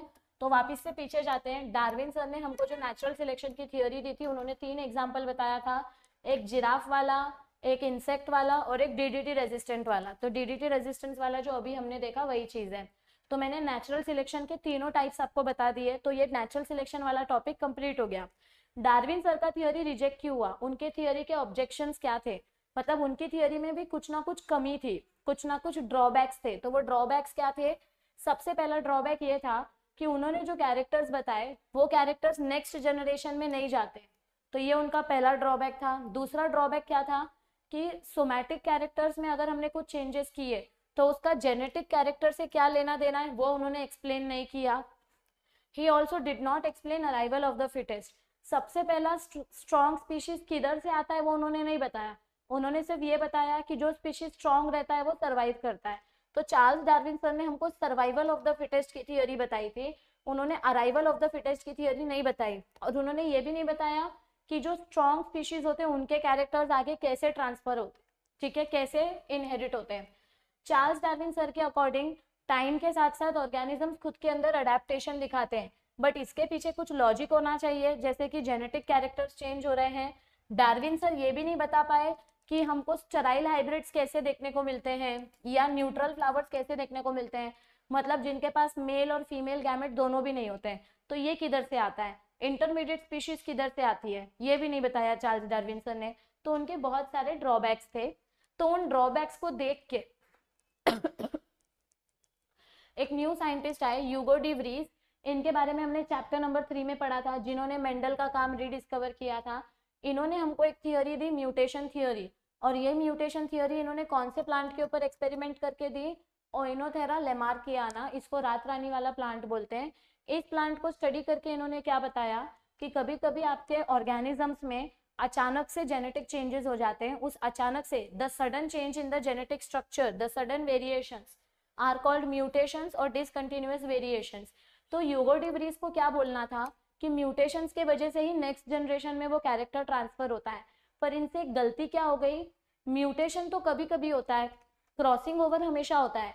सेक्सुअल रिप्रोडक्शन में क्रोमोसोम्स अपनी इंफॉर्मेशन एक्सचेंज करते हैं। उसको क्रॉसिंग ओवर बोलते हैं। क्रॉसिंग ओवर की वजह से आपको न्यू कैरेक्टर्स मिलते हैं। म्यूटेशन कभी तो गलती से होता है। तो हम सिर्फ़ म्यूटेशन के ऊपर डिपेंड कर सकते हैं क्या न्यू कैरेक्टर्स के लिए नहीं। इसीलिए यूगोटिवरीज की थियोरी भी रिजेक्ट हो गई। क्योंकि इनकी थियोरी सिर्फ़ म्यूटेशन के कॉन्सेप्ट पे थी। तो यूगोटिवरीज की थियोरी का मेन फीचर क्या था? कि म्यूटेशन जब होता है तो ये बहुत लार्ज होता है, पर ये अचानक से होता है। इसकी कुछ गारंटी नहीं है कब होगा, कब नहीं होगा। ये म्यूटेशन नेक्स्ट जनरेशन में भी ट्रांसफ़र होते हैं। म्यूटेशन के वजह से आपको नया इवोल्यूशन देखने को मिलता है। पर ये म्यूटेशन अच्छा होगा कि बुरा होगा, इसके बारे में हम नहीं बता सकते। ये यूजफुल भी हो सकता है हार्मफुल भी हो सकता है, ठीक है? और ये म्यूटेशंस के वजह से ही हमको न्यू स्पीशीज मिलती है। और ऐसा भी हो सकता है कि हार्मफुल म्यूटेशंस के वजह से आपको आगे आगे हार्मफुल जीन्स देखने को मिले या फिर हार्मफुल जीन्स मर जाए और हेल्दी जीन्स आगे पास ऑन हो। बट यूगो डिवरीज के ऑब्जेक्शन क्या थे? कि ये म्यूटेशन अचानक से होते हैं और ये किसके वजह से होते हैं? क्रोमोजोमल एबनॉर्मेलिटीज के वजह से, जिसके वजह से एक्चुअली हमको सिर्फ़ थोड़ा थोड़ा चेंजेस ही देखने को मिलता है। Rate of mutation is very slow as compare to evolution और क्रोमोसोमल एबरेशन भी हमेशा होगा ऐसा ज़रूरी नहीं है। और ये काफ़ी ज़्यादा अनस्टेबल होते हैं। इसीलिए यूगो डिवरीज की थियोरी भी रिजेक्ट हो गई थी। According to Darwin variations are small and directional and whereas mutation are large and sudden ये दोनों के बीच का डिफरेंस बताया डार्विन की थियोरी और यूगो डिवरीज की थियोरी डार्विन सर ने क्या बोला था कि वेरिएशन थोड़े थोड़े कैरेक्टर्स में होता है, और यूगो डिवरीज ने क्या बोला था कि आपको एक साथ बहुत सारा वेरिएशन देखने को मिलता है। डार्विन सर ने क्या बोला था कि वेरिएशन एक दिन में नहीं होता है पचास साल, सौ साल, लाखों साल लगते हैं वेरिएशन होने के लिए। और यूगो डिवरीज ने क्या बोला था कि अगर म्यूटेशन किया तो वेरिएशन फटाक से हो सकता है। एक सिंगल स्टेप म्यूटेशन जब होता है तो उसको हम बोलते हैं सॉल्टेशन ये डेफिनेशन भी आ सकता है या सीईटी में भी पूछा जा सकता है, ठीक है? आगे बढ़ते हैं modern synthetic theory of evolution अभी पुराना थियोरी पढ़ पढ़ के पढ़ पढ़ के सब लोग बोर हो गए थे। क्योंकि सब लोग सिर्फ़ यही बोलते थे कि अडेप्टेशन करो तो सरवाइव करोगे अडेप्टेशन करो तो सरवाइव करोगे। पर कोई भी उसके पीछे का साइंटिफिक लॉजिक नहीं समझा पा रहा था। तो ऑर्गेन मतलब मॉडर्न सिंथेटिक थियोरी में हमने नए नए साइंटिस्ट लोगों की बात सुनी, जैसे फिशर हेल्डेन डॉग्जेंस की Huxley Mayr Simpson Stebbins Mendel T H Morgan वगैरह। और इन्होंने हमको न्यू थियोरी दी इवोल्यूशन की, क्योंकि इन्होंने सिर्फ़ अडेप्टेशन के बारे में नहीं पढ़ाई की। इन्होंने जेनेटिक पढ़ाई किया एनवायरनमेंट का उसमें क्या रोल होता है, उसको फाइंड आउट किया ऑर्गेनिज्म का स्ट्रक्चर समझा जोग्राफिकल रीजन का क्या रोल प्ले होता है, वो समझा, उसके फॉसिल फ्यूल्स के बारे में स्टडी की और फिर हमको बताया कि ये सारे ऑर्गेनिक एवोल्यूशन कैसे होता है। और ये इन लोगों इन लोगों ने मिलके हमको जो थियोरी दी थी स्टेबिन्स ने उस थियोरी को अपने बुक में लिखा और उन्होंने हमको पाँच की फैक्टर्स दिए gene mutation mutation in chromosome structure and number genetic recombination natural selection and reproductive isolation ये पाँच की फैक्टर्स को हमने आगे जाके तीन कैटेगरी में डिवाइड किया। हमने पहला कैटेगरी बनाया जेनेटिक वेरिएशन इसमें सब क्रोमोसोम का आ जाएगा।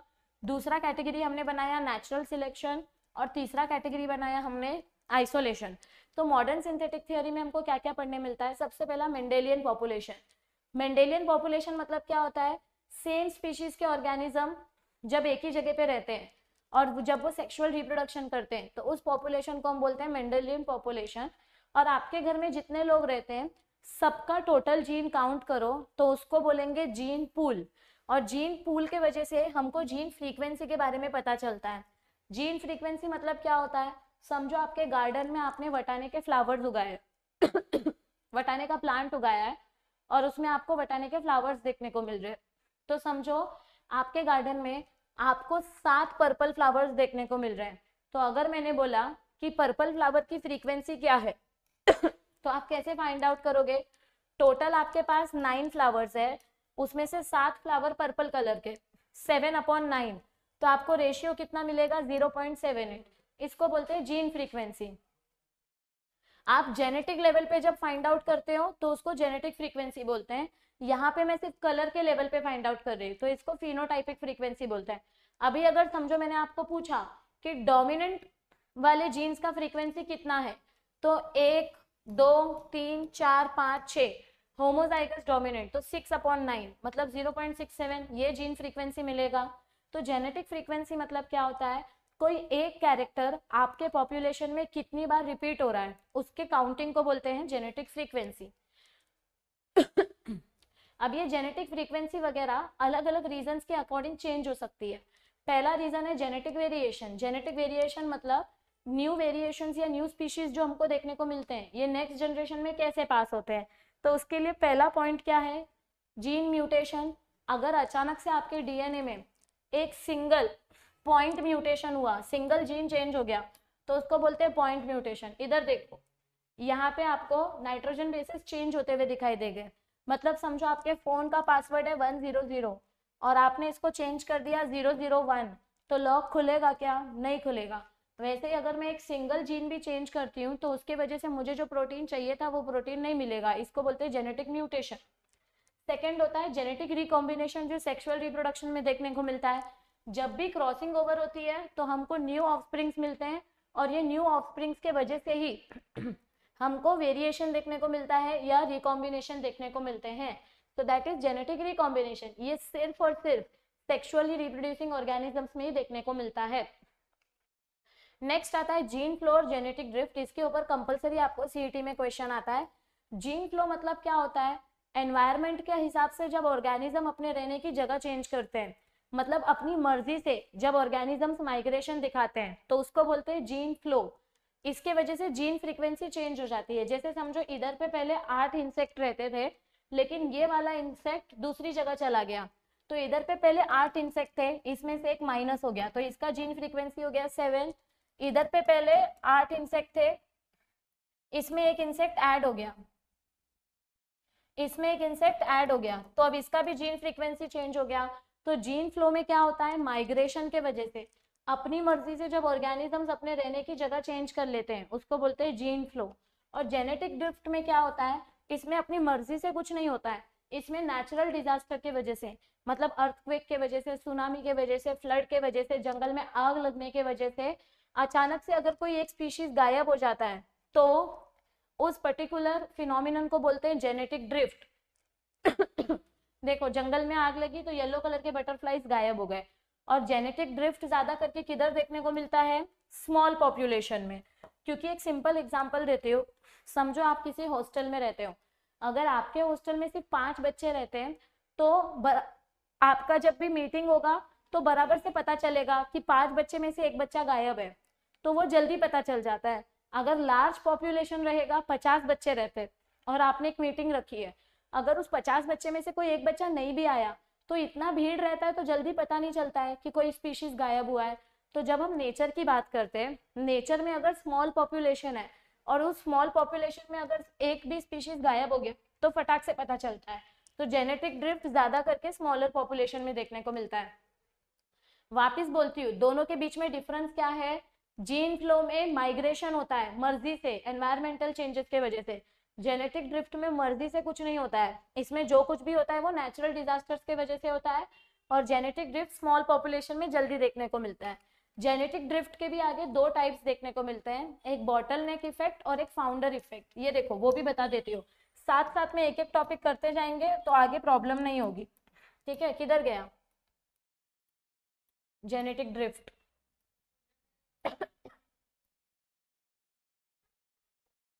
इधर ही तो था।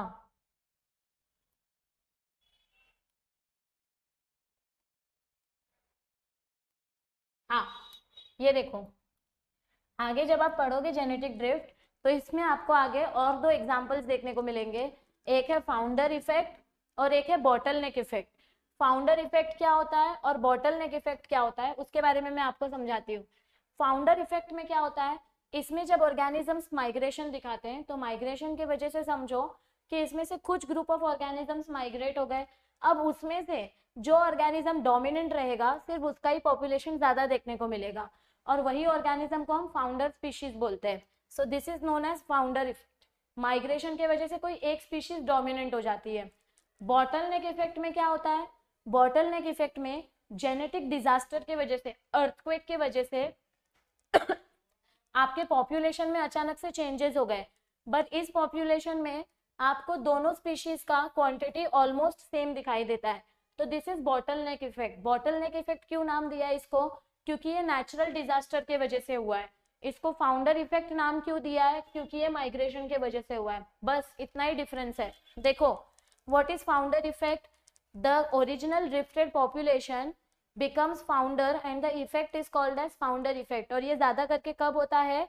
जब ऑर्गेनिजम्स न्यू जोग्राफिकल एरिया में शिफ्ट होते हैं, यानी माइग्रेशन करते बॉटल नेक इफ़ेक्ट कब देखने को मिलता है? नेचुरल डिजास्टर के टाइम पे। तो founder effect is same like gene flow पर ये जेनेटिक ड्रिफ्ट के अंदर आता है। और बॉटल नेक इफ़ेक्ट ये आपका नेचुरल डिजास्टर की वजह से होता है। बस, दोनों में यही डिफरेंस है। बॉटल नेक इफ़ेक्ट कब होता है? माइग्रेशन के वजह से। सॉरी ये बॉटल नेक इफ़ेक्ट होता है नेचुरल डिजास्टर की वजह से और फाउंडर इफ़ेक्ट कब होता है? माइग्रेशन के वजह से। सिर्फ़ ये डिफरेंस आपको याद रखना है, बस, और कुछ नहीं याद रखना है, ठीक है? पीछे जाते वापस जिधर पे थे। हाँ फिर नेक्स्ट क्या आता है अपना? क्रोमोसोमल एबरेशन एबरेशन मतलब क्या होता है?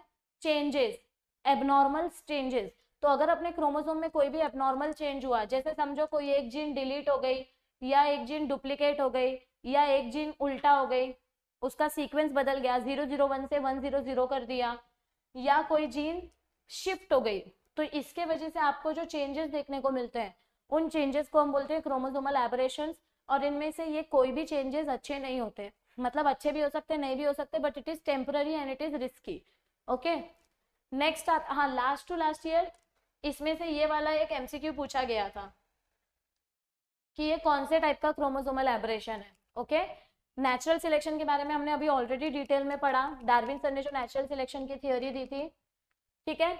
नेक्स्ट आता है आइसोलेशन आइसोलेशन क्या होता है? जब आपको सेम स्पीशीज के ऑर्गेनिजम्स अलग कर देते हो, क्योंकि अब आपको न्यू वेराइटी चाहिए तो उस प्रोसेस को बोलते हैं आइसोलेट कर देना। या तो आप ऑर्गेनिजम्स को अलग अलग जगह लेके जाके रख दोगे, या तो उसका गैमेट चेंज कर दोगे। तो आइसोलेशन अलग अलग टाइप का होता है। Geographical isolation and reproductive isolation geographical isolation में क्या होता है?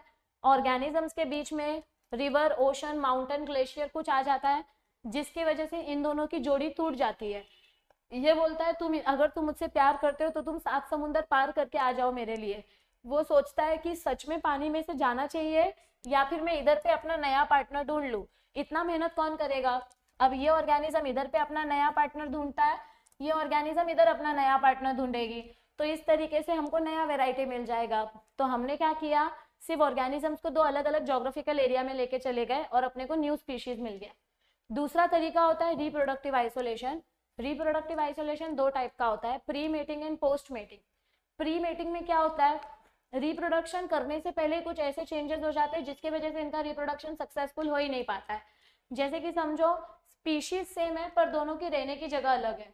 एक पानी में रहता है, एक लैंड में रहता है। तो इनका हैबिटेट अलग है। ये बोलता है, तुम मुझसे प्यार करते हो तो तुम पानी में आ जाओ। ये बोलता है, तुम बाहर आओ। दोनों में से कोई कॉम्प्रोमाइज करने को रेडी नहीं है तो ये बोलता है, हुड। ये बोलता है, तू भी हुड। ये जाके अपना इधर नया पार्टनर ढूंढेगा, ये जाके अपना नया पार्टनर ढूंढेगा, नए बच्चे पैदा करेंगे, नया स्पीशीज मिल जाएगा। नेक्स्ट होता है सीजनल आइसोलेशन प्लांट रिप्रोडक्शन वाले चैप्टर में अपन ने पढ़ा था डाइकोगेमी। डाइकोगेमी मतलब क्या होता है? जब आपका फीमेल फ्लावर रेडी हो जाता है तो मेल रेडी नहीं रहता है। ये कौन सा कंडीशन है? इसमें गाइनोशियम इज़ रेडी तो इसको बोलेंगे प्रोटोगाइनी और अगर एंड्रोशियम रेडी रहता तो उसको बोलते हैं प्रोटेंड्री जब फीमेल रेडी है तो मेल का सीज़न नहीं आया। जब मेल रेडी रहेगा तो फीमेल का सीज़न नहीं आएगा। तो ये दूसरे फ्लावर के साथ पॉलिनेशन करके न्यू प्लांट बनाएगी और ये दूसरे फ्लावर के साथ पॉलिनेशन करके न्यू प्लांट बनाएँगे। इसको बोलते हैं टेम्पोरल या सीजनल आइसोलेशन नेक्स्ट आता है एथोलॉजिकल आइसोलेशन इसमें स्पीशीज भी सेम है हैबिटेट भी सेम है सीज़न भी सेम है, सब कुछ सेम है, लेकिन इसमें एक दूसरे को बिहेवियर अच्छा नहीं लगता है। मतलब समझो ये गाँव का लड़का है और ये शहर की छोरी। शहर की लड़की बोलती है, कैसा गाउटी इंसान है, फटे हुए गले से सुबह सुबह गाना गा रहा है, शी बाबा, मुझे नहीं पसंद ये लड़का। ऐसा ये बर्ड बोल रही है, मैं नहीं बोल रही हूँ। तो फिर ये इसके साथ रिप्रोडक्शन नहीं करेगी मतलब she will not prefer mating with this bird तो यहाँ पे बिहेवियरल आइसोलेशन बोलते हैं। बिहेवियर की वजह से they avoid doing reproduction mechanical isolation में क्या होता है? बेचारे लोगों का स्पीशीज भी सेम है, सब कुछ सेम है, लेकिन इनका रिप्रोडक्टिव ऑर्गन मैच नहीं करता है, जिसके वजह से they are not able to do reproduction post mating में क्या होता है? इसमें स्पीशीज भी सेम है, सब कुछ सेम है, लेकिन या तो इनका गैमेट मरा हुआ रहता है, या तो समझो गैमेट्स ने कैसे तैसे फ्यूज किया तो जायगोट मर जाता है पैदा होने से पहले, या जायगोट अगर सर्वाइव कर भी गया तो जो बच्चा होगा वो बच्चा स्टराइल होगा। मतलब उसका कुछ ना कुछ डिफेक्टिव रहेगा, जिसके वजह से वो रिप्रोडक्शन आगे जाके नहीं कर पाएगा और अपना पॉपुलेशन नहीं बढ़ा पाएगा। चलो भाई, इसका आंसर दो, तब तक मैं जरा पानी पी लू। यस सबसे पहले अपने प्रिमिटिव एटमॉस्फेयर में, सबसे स्टार्टिंग में, कौन से गैसेस हमको देखने को मिले थे? तीनों all of these next question हाँ नेक्स्ट क्वेश्चन क्या आएगा? अपने एटमॉस्फेयर में से सबसे पहले कौन सा गैस एब्सेंट था?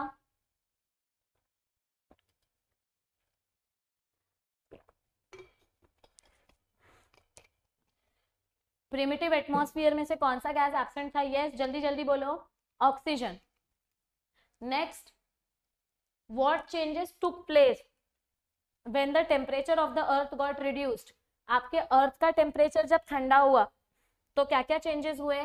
गैसेस का कंडेंसेशन हुआ हैवी एलिमेंट्स अर्थ के सेंटर में चले गए लाइट एलिमेंट्स एटमॉस्फियर में रह गए। ये तीनों चेंजेस हुए तो all of these river lake और ओशन कैसे फॉर्म हुआ?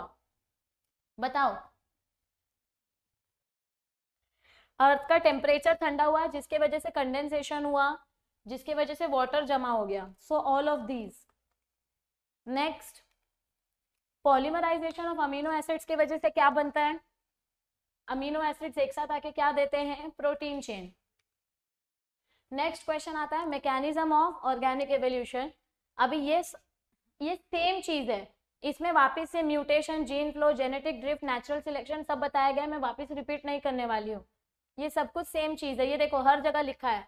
Explain earlier explain earlier explain earlier सब जगह दिया है। सब कुछ हम पहले पढ़ चुके हैं। ये बॉटल नेक और फाउंडर इफ़ेक्ट मैंने आपको बता दिया। नेचुरल सिलेक्शन भी हमने देख लिया। आइसोलेशन भी हमने देख लिया। It is explain earlier speciation मतलब क्या होता है? न्यू स्पीशीज जब फॉर्म होती है, ये टॉपिक अभी आगे आने वाला है तो तब मैं बताऊँगी, ठीक है? मतलब आइसोलेशन की वजह से न्यू स्पीशीज कैसी बनती है? दो टाइप का स्पीसीएशन होता है सिम्पैट्रिक स्पीसीएशन और एलोपैट्रिक स्पीसीएशन चलो, बता देती हूँ। नहीं, आगे ही बताऊँगी, रुक जाओ। स्पीसीएशन में अभी बताऊँगी, बहुत सिंपल है, इसलिए आगे बता दूँगी। हार्डी वेगनबर्ग प्रिंसिपल, अभी बहुत सारे बच्चों को ये प्रिंसिपल सर के ऊपर से बाउंसर जाता सबसे पहली बात ये जो फॉर्मूला है, इस फॉर्मूला के ऊपर के बेसिस क्वेश्चन सीईटी में आपको नहीं पूछे जाते बोर्ड में आपको नहीं पूछे जाते, सिर्फ़ नीट वाले बच्चों को आते हैं इसके क्वेश्चन हार्डी वेनबर्ग प्रिंसिपल में क्या बोला गया था कि किसी भी पॉपुलेशन में जब तक ऑर्गेनिजम्स सेम अमाउंट में बढ़ते रहेंगे, तब तक आपको जीन फ्रीक्वेंसी में चेंजेस नहीं देखने को मिलेगी। जैसे एक सिंपल एग्ज़ाम्पल लेती हूँ समझो ये कोई पॉपुलेशन है, यहाँ पे सौ लोग रहते हैं। इसमें से इसमें से ब्राउन आँख वाले लोग जो हैं, उनका पॉपुलेशन फोर्टी है। ब्लैक आँख वाले जो लोग हैं, उनका पॉपुलेशन फोर्टी है। और ब्लू आइज़ वाले लोग का पॉपुलेशन ट्वेंटी है। अब समझो आपको बोला है कि ब्लू आइज़ का जेनेटिक फ्रीक्वेंसी बताओ अलील फ्रीक्वेंसी तो ब्लू आइज़ वाले ट्वेंटी लोग हैं और टोटल पॉपुलेशन कितना है? हंड्रेड तो इसका फ्रीक्वेंसी क्या आएगा? टू अपॉइंट टेन मतलब वन अपॉइंट फाइव मतलब ज़ीरो पॉइंट टू बराबर? ओके अब समझो ये पॉपुलेशन बढ़ गया। पाँच साल के बाद इधर पे 200 लोग हो गए। एग्जैक्ट अमाउंट बढ़ा। एग्जैक्ट अमाउंट डबल हुआ। तो अब अंदर क्या चेंजेस होंगे? जो आपके ब्राउन आईज वाले थे, वो 80 हो गए। ब्लैक आईज वाले जो थे, वो भी 80 हो गए। और ब्लू आईज वाले जो थे, वो 40 हो गए। अब आपको फिर से बोला कि ब्लू आइज़ का फ्रीक्वेंसी बताओ। तो 40 अपॉन टू क्योंकि टोटल पॉपुलेशन 200 है।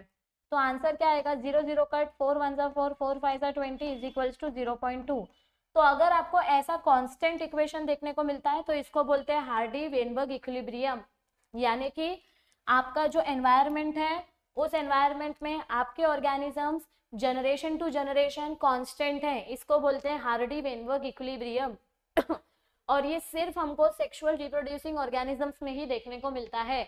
बट ये एक आइडियल कंडीशन है। रियल लाइफ में ऐसा नहीं होता है। ठीक है? तो हार्डी वेनबर्ग इक्विलिब्रियम क्या होता है? मैंने आपको बता दिया। इसका फॉर्मूला आपको याद करना है। दो फॉर्मूला दिया गया है। P plus Q equals to one P मतलब क्या होता है? डोमिनेंट स्पीशीज क्यू मतलब क्या होता है? रिसेसिव स्पीशीज और इसका ही आप इसको ऐसे भी रिप्रेजेंट कर सकते हो जोमेट्रिक वे में। A plus B the whole square तो दिस इज़ पी स्क्वायर मतलब डोमिनेंट अलील क्यू स्क्वायर मतलब रिसेसिव अलील और पी क्यू मतलब आपका हाइब्रिड अलील ठीक है? बस ये दो फॉर्मूलाज आपको लर्न करने हैं। That's it okay adaptive radiation क्या होता है? चार्ल्स डार्विन सर जब गैलोपैगोस आइलैंड में घूम रहे थे, ठीक है? तो उन्होंने क्या ऑब्ज़र्व किया कि यहाँ पे जो बर्ड्स है, ये बर्ड्स अपने जो मेन लैंड वाले बर्ड्स है, वो आइलैंड वाले बर्ड से अलग थे। क्योंकि मेन लैंड में बहुत सारा खाने का रिसोर्सेस था तो उधर पे बर्ड्स कुछ भी खा सकते थे। पर आइलैंड में कुछ स्पेसिफिक रिसोर्सेज ही रहते हैं, जिसके वजह से उनको अपने बीक का स्ट्रक्चर चेंज करना पड़ा। तो इसको हम बोलते हैं अडेप्टिव रेडिएशन मतलब ये अपने खाने के हिसाब से इनके बीक में अलग अलग चेंजेस होते गए। ये देखो, इनकी चोंच की साइज़ बदलती गई। This is known as adaptive radiation adaptive radiation का और एक एग्ज़ाम्पल है मार्सुपियल्स मार्सुपियल्स मतलब क्या होते हैं? पाउच एनिमल्स जो अपने बच्चों को अपने पाउच में ग्रो करते हैं, जब तक वो बच्चे बड़े नहीं हो जाते। तो मार्सुपियल का एग्ज़ाम्पल ऑस्ट्रेलियन कंगारू या ऑस्ट्रेलियन रैट का ले सकते हो ठीक है? चलो next question colloidal aggregate of protein and lipids lipids आया मतलब को अकरवेट अगर सिर्फ़ प्रोटीन रहता तो हम उसको बोलते हैं माइक्रोस्पियर ठीक है? ये किसने दिया था हमको नाम? हेल्डेन ने दिया था Sidney next the first primitive cell was सबसे पहला सेल कैसा था? एनारोबिक था, क्योंकि केमिकल खाता था हेट्रोट्रॉपिक और कीमो हेट्रोट्रॉपिक दोनों था। तो आंसर क्या आएगा? All of this Urey Miller experiment में लाइटनिंग इफ़ेक्ट को हमने कैसे कॉपी किया था? इलेक्ट्रिक डिस्चार्ज स्पार्क की मैकेनिज्म से। बराबर? तो इसका आंसर आएगा बी एल्टमैन और चेक इन दोनों को नोबेल प्राइज मिला था केमिस्ट्री की फ़ील्ड में। क्यों? क्योंकि उन्होंने राइबोसोम्स राइबोजाइम्स के बारे में बताया था। कुछ 1989 में if I am not wrong ठीक है? So option number A is the right answer Latin word evolution का मतलब क्या होता है? द एक्ट ऑफ़ अनरोलिंग या अनफोल्डिंग ओके okay, अभी जब आप ये पढ़ोगे तो आपको इसका आंसर ऑटोमेटिकली पता चल जाएगा. Evidences of organic evolution organic evolution का एविडेंस कैसे पता चला? फॉसिल फ्यूल्स की स्टडी करके कंपैरिजन करके और उनके एम्ब्रियो का स्ट्रक्चर पढ़ के. पैलियंटोलॉजी मतलब क्या होता है? The study of fossil fuels is called as palaeontology fossil fuels की स्टडी करके अपने को डायरेक्ट प्रूफ मिलता है कि ये ऑर्गेनिज्म कब थे, कहाँ से आए कैसे आए ये अर्थ के कौन सी लेयर से पाए गए। ठीक है? तो फॉसिल फ्यूल्स अलग अलग टाइप के होते हैं। पहला आता है एक्चुअल रिमेन्स मतलब समझो आपको सच में कोई प्लांट का पत्ता या सच में किसी एनिमल के हड्डी वगैरह मिली, जैसे ये एक टाइप का डायनासोर का स्ट्रक्चर है वुली मैमोथ साइबर साइबेरिया में मिला था। दूसरा एम्बर और हार्डन रेजिन ये एक टाइप का पत्थर है, जिसके ऊपर आपको रियल लाइफ इंसेक्ट की डेड बॉडीज मिली थी और ये इंसेक्ट मतलब स्पेसिफिक स्पीशीज के जो अब एक्सटिंक्ट हो चुके हैं। मोल्ड मतलब आपको सिर्फ़ ऑर्गेनिज्म का छापा मिलता है, उससे आप बता सकते हो कि ये किसका छापा है। फुटप्रिंट्स मिलते हैं। कास्ट मतलब क्या होता है? बहुत सालों तक आपके कैविटी में मिनरल डिपोजिशन के वजह से कभी कभी कोई नया स्ट्रक्चर फॉर्म हो जाता है तो वो मिनरल डिपोजिशन की वजह से जो नया स्ट्रक्चर फॉर्म होता है, उसको बोलते हैं कास्ट और कंप्रेशन में स्ट्रक्चर फॉर्म नहीं होता है, पर मिनरल डिपोजिशन की वजह से सिर्फ़ एक छापा आ जाता है, उसको बोलते हैं कंप्रेशन पैलियंटोलॉजी यूजफुल है फाइलोजॉनी पढ़ने के लिए मतलब अपने एंसिस्टर्स के बारे में पढ़ने के लिए. इसमें हम जो एनिमल्स एक्सटिंक्ट हो गए, उनके बारे में भी जान सकते हैं. हमको ऑर्गेनिजम्स का मिसिंग लिंक भी पता चल सकता है ऑर्गेनिजम्स क्यों एक्सटिंक्ट हुए, उसके बारे में भी पता चल सकता है. तो सबसे पहले मिसिंग लिंक का आपको एग्ज़ाम्पल याद रखना है। ये एग्ज़ाम्पल कंपलसरी आपको बोर्ड में पूछा जाता है। ठीक है? It is very very very important connecting link मतलब क्या होता है? जो एनिमल और बर्ड के बीच का कनेक्टिंग मतलब एनिमल और बर्ड के बीच का या ह्यूमंस और एनिमल्स के बीच का जो कनेक्टिंग लिंक होता है। जैसे कि एक ही एनिमल में दोनों कैरेक्टर्स देखने को मिलते हैं। जैसे अगर हम एम्फीबियंस और रेप्टाइल्स के बीच का कनेक्टिंग लिंक देखें तो उसका एग्ज़ाम्पल आएगा साइमोरिया और अगर हम रेप्टाइल्स और बर्ड्स के बीच का कनेक्टिंग लिंक देखें तो उसका एग्ज़ाम्पल आएगा आर्कियोप्टेरिक्स ये देखो, ये एक टाइप का एनिमल है, जिसमें रेप्टाइल्स के भी कैरेक्टर्स है और बर्ड्स के भी कैरेक्टर्स है। इसमें रेप्टाइल्स वाले कौन से कौन से कैरेक्टर्स है? इसके पास लंबी पूछ है, इसके पास पंजा है, इसकी बॉडी में स्केल है, जैसे मगरमच्छ की बॉडी में होता है। इनके पास एक ही हड्डी है, जो इनके सर से चालू होती है और पूरा टेल तक कंटिन्यू होती है। इनके पास रिब जैसा स्ट्रक्चर है, इनके पास एक ही शेप के दांत है, जैसे एलिगेटर में होते हैं। इनके पास ऐसा स्टर्नम विदाउट कील मतलब दे हैव स्टर्नम पर इनके पास कील नहीं है आउटर प्रोटेक्टिव लेयर नहीं है। इनके बोन्स सॉलिड है। एलिगेटर जैसे हैवी बोन्स है इनके। बर्ड्स के बोन्स खाली होते, खोखले बोन्स होते हैं क्योंकि बर्ड्स के ऊपर उड़ना होता है। और इनके जो हाथ है, वो ऐसे पंजे जैसे हैं। बर्ड्स के हाथ में ऐसे डिजिट्स नहीं होते हैं ठीक है? तो इनके हाथ ऐसे पंजे जैसे हैं। और इनके पास सिर्फ़ दो पैर है, क्योंकि इनके ऊपर के जो दो हाथ है, वो विंग्स में कन्वर्ट हो गए। तो इनमें कुछ कैरेक्टर्स एनिमल्स के हैं रेप्टाइल्स के और कुछ कैरेक्टर बर्ड्स के हैं। बर्ड्स के कौन से कैरेक्टर्स हैं? इनके पास फेदरी एक्सोस्केलेटन है। इनका जो ऊपर के दो हाथ है, वो विंग्स में कन्वर्ट हो गए हैं। इनका जो मुँह है, वो बीक के शेप का हो गया है। इनका स्कल बोन अपने नेक से कम्प्लीटली फ्यूज्ड है। इनके पास बड़ा सा खोपड़ी है। इनके खोपड़ी में बड़े बड़े दो खड्डे जिनके अंदर इनकी आँखें फिक्स्ड है लार्ज ऑर्बिट्स इनकी जो बोन्स है, पैर की बोन्स वो बर्ड के जैसी है। इनके पास चार टोज है। Their hind limbs is with four toes and first toe is opposable इनके पास चार उंगली है, जिसमें से फ़र्स्ट वाली उंगली अपोजिट डायरेक्शन में, जैसे मुर्गी में होती है, ठीक है? So from the above study we can say कि बर्ड्स कहाँ से इवॉल्व हुए हैं? रेप्टाइल से। और ये किसने प्रूव किया था? हक्सली ने। और हक्सली ने इनको क्या बोला? ग्लोरीफाइड रेप्टाइल्स मतलब ये जो बर्ड्स है, ये एक्चुअली रेप्टाइल से आए हैं, ठीक है? So this is C question अब ये ये जो बॉक्स है, ये मैंने अपने डिटेल वाले लेक्चर में बताया हुआ है। तो डिटेल वाला लेक्चर देखे, ये आपका होमवर्क है। आपको कमेंट करना है। बेलेनो ग्लासेस किसके बीच का कनेक्टिंग लिंक है? इसका कनेक्टिंग लिंक क्या है? इसका कनेक्टिंग लिंक क्या है? ये तो अभी अपन ने पढ़ा। एम्फीबियंस और रेप्टाइल्स के बीच का कनेक्टिंग लिंक है। ठीक है? तो ये आपको होमवर्क है। ये आपको कमेंट करना है। और इधर देखो आर्कियोप्टेरिक्स जो है, इसका फ़र्स्ट फॉसिल फ्यूल हमको जुरैसिक जर्मनी में मिला था। इट वॉज़ डिस्कवर्ड इन 1861 जो ब्रिटिश म्यूज़ियम में स्टोर किया गया है और इसका सेकेंड फॉसिल फ्यूल हमको मिला था 1877 में, जिसका नाम था आर्कियोर्निस जो हमको वापस से जर्मनी में मिला था बर्लिन में, ठीक है? स्ट्रक्चर के बेसिस पे अगर हम देखें तो दो टाइप का हमको डिफरेंस दिखाई देता है। एक होमोलोगस ऑर्गन और एक एनालोगस ऑर्गन होमोलोगस मतलब क्या होते हैं? इनका स्ट्रक्चर सेम होता है बट फ़ंक्शन अलग होता है। आपको इधर पे एग्जाम्पल्स कंपलसरी पढ़ने क्योंकि कुछ भी एग्ज़ाम्पल पूछा जाता है। इधर देखो इन सबका हाथ का स्ट्रक्चर सेम है बट सबका फ़ंक्शन अलग अलग है। जैसे घोड़े का फ़ंक्शन है दौड़ना वेल का फ़ंक्शन है स्विम करना बैट का फ़ंक्शन है उड़ना। सबके बोन्स का स्ट्रक्चर सेम है बट फ़ंक्शन अलग है। So same structure but different function इसको बोलते हैं होमोलोगस ऑर्गन और ये हमको अलग अलग एनिमल्स में देखने को मिलते हैं। और ये इससे पता चलता है कि इनका एंसिस्टर कॉमन होगा। सो so, इसको हम बोलते हैं डाइवर्जेंट एवोल्यूशन या अडेप्टिव रेडिएशन ये आपका सीईटी क्वेश्चन है। तो इससे अपने को क्या पता चलता है कि स्ट्रक्चर सेम है ना? मतलब इनका एंसिस्टर्स कॉमन होगा, सिर्फ़ इन्होंने आगे जाके थोड़ा सा मॉडिफिकेशन कर लिया होगा। तो एक एंसिस्टर से अलग अलग स्पीशीज बने, इसीलिए इसको बोलते हैं डाइवर्जेंट इवोल्यूशन मतलब एक स्पीशीज से अलग अलग स्पीशीज बने। नेक्स्ट आता है एनालोगस ऑर्गन इसमें स्ट्रक्चर अलग रहता है बट फ़ंक्शन सेम रहता है। They are structurally dissimilar but functionally similar जैसे बटरफ्लाई का विंग्स देख लो और बर्ड्स का विंग्स देख लो। दोनों का स्ट्रक्चर अलग है बट फ़ंक्शन तो सेम है। दोनों उठने में हेल्प करते हैं। यह आपका वर्टिब्रेट ह्यूमंस का आय है, या ऑक्टोपस का आय है। इसका रेटिना का पोजीशन देखो और इसका रेटिना का पोजीशन देखो। दोनों का पोजीशन अलग अलग जगह पे है बट दोनों का काम क्या है? विजन पेंगुइन्स का फ्लिपर देखो और आपके डॉल्फिन का फ्लिपर देखो। Flipper of penguins and dolphin दोनों का स्ट्रक्चर टोटली अलग है बट दोनों स्विमिंग करने में हेल्प करते हैं। तो मैं यही चीज़ बोलने की कोशिश कर रही हूँ।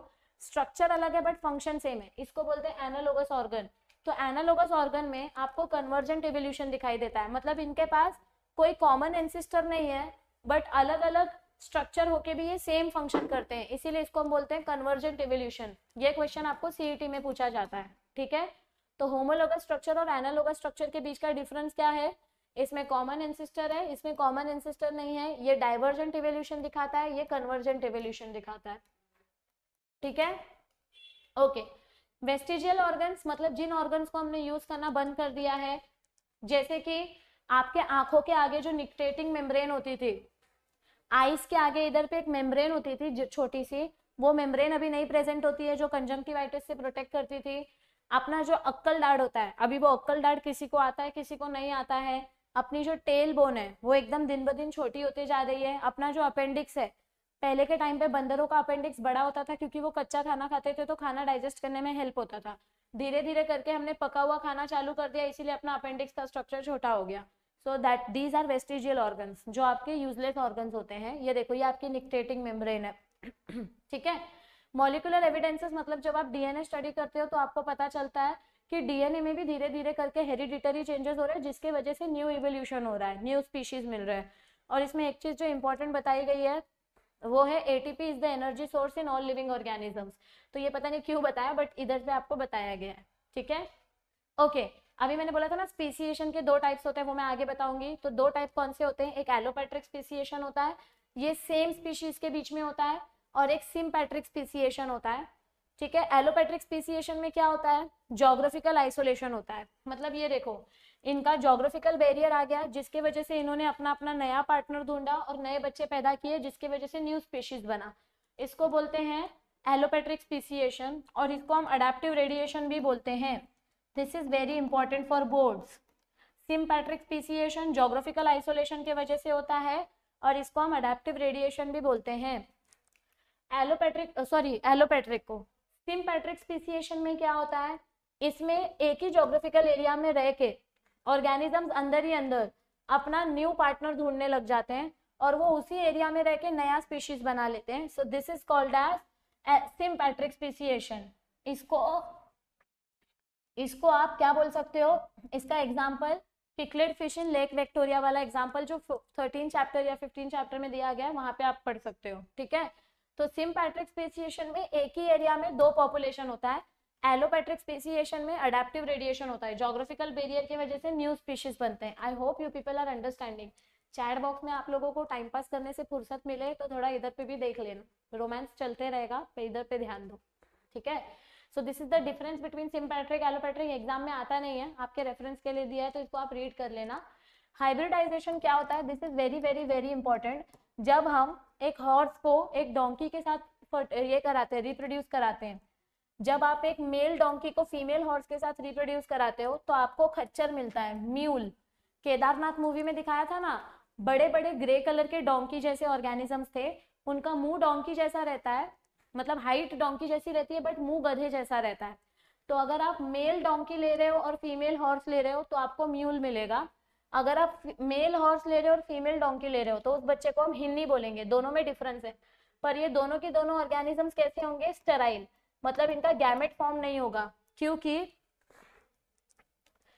नॉर्मली 64 क्रोमोसोम्स होने चाहिए हॉर्स में। पर म्यूल या हिन्नी में कितने होते हैं? ओनली 63 हॉर्स और डोंकी में 64 क्रोमोसोम्स होते हैं। 64 64 तो इसका गैमेट 32 इसका गैमेट 32 लेकिन म्यूल या हिंदी में कितना होता है? 63 होता है। मतलब कुछ तो इधर पे क्रोमोसोमल गड़बड़ हो जाती है, जिसकी वजह से ये स्टराइल हो जाते हैं। क्या हो जाते हैं ये? स्टराइल हो जाते हैं। इनमें मेल या फीमेल के गैमेट्स नहीं बनते हैं। ठीक है? लास्ट सेकेंड लास्ट टॉपिक आता है जियोलॉजिकल टाइम स्केल अब ये जो इतना बड़ा थियोरी दिया है, इस इतने बड़े थियोरी को मैंने शॉर्ट में लिखा हुआ है। देखो, ये वाला पार्ट ठीक है? सबसे पहला लाइफ हमको कब देखने को मिला? 2000 मिलियन ईयर्स अगो पहले। यानी कि 2 बिलियन ईयर्स अगो भी बोल सकते हो in the form of proteinoids life सबसे पहले कहाँ ओरिजिनेट हुई? सी वाटर में। प्लांट्स ने लैंड पे आना ग्रो होना स्टार्ट किया।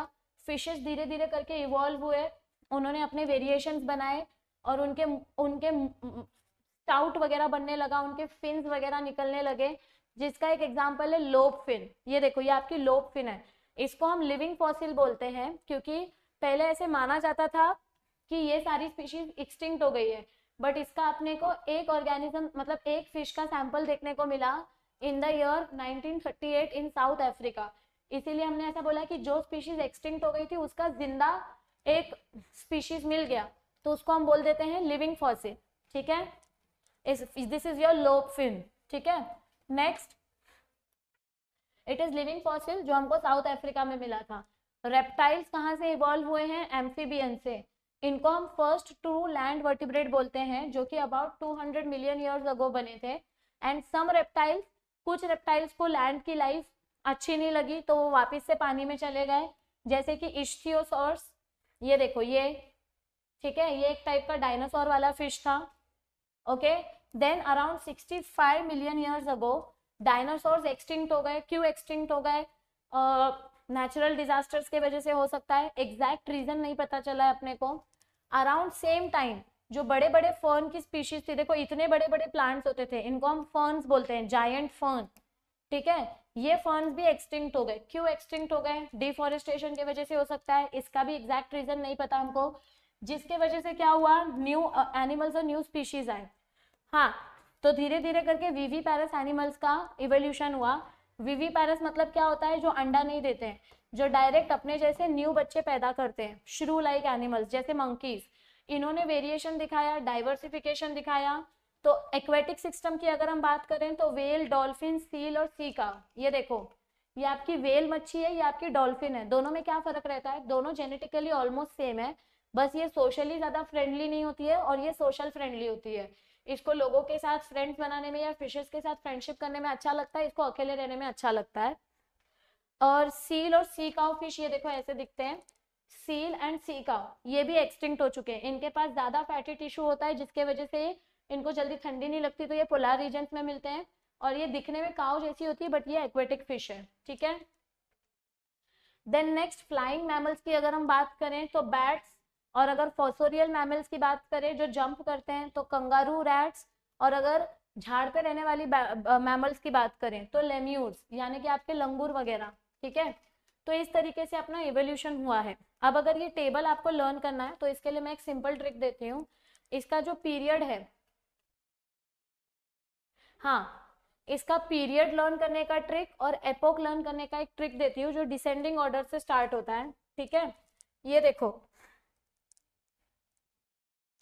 इसका स्टार्टिंग किधर से होता है? पीरियड का ट्रिक दे रही हूँ।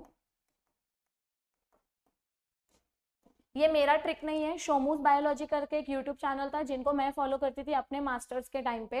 ये उस सर का ट्रिक है और मुझे वो सर का पढ़ाया हुआ बहुत अच्छे से समझ में आता था। वो मास्टर्स लेवल का पढ़ाते थे। तो मैंने ये ट्रिक उधर से देखा था। ठीक है? तो क्या था उनका trick camels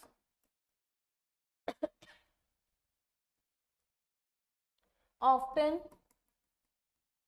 sit down carefully perhaps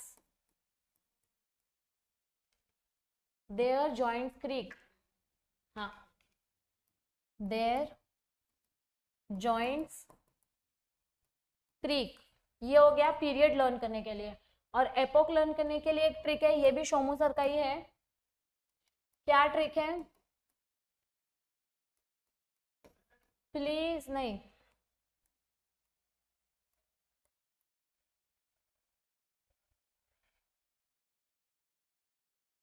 Put put eggs on my plate please honey ठीक है? अभी देखो एपॉक का देख लेते हैं। ये डिसेंडिंग ऑर्डर में जाना है आपको।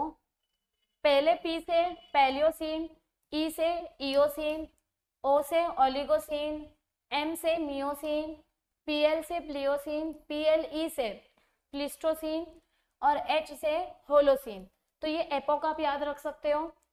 फिर उसके बाद आता है पीरियड अभी पीरियड कैसे याद रख सकते हैं?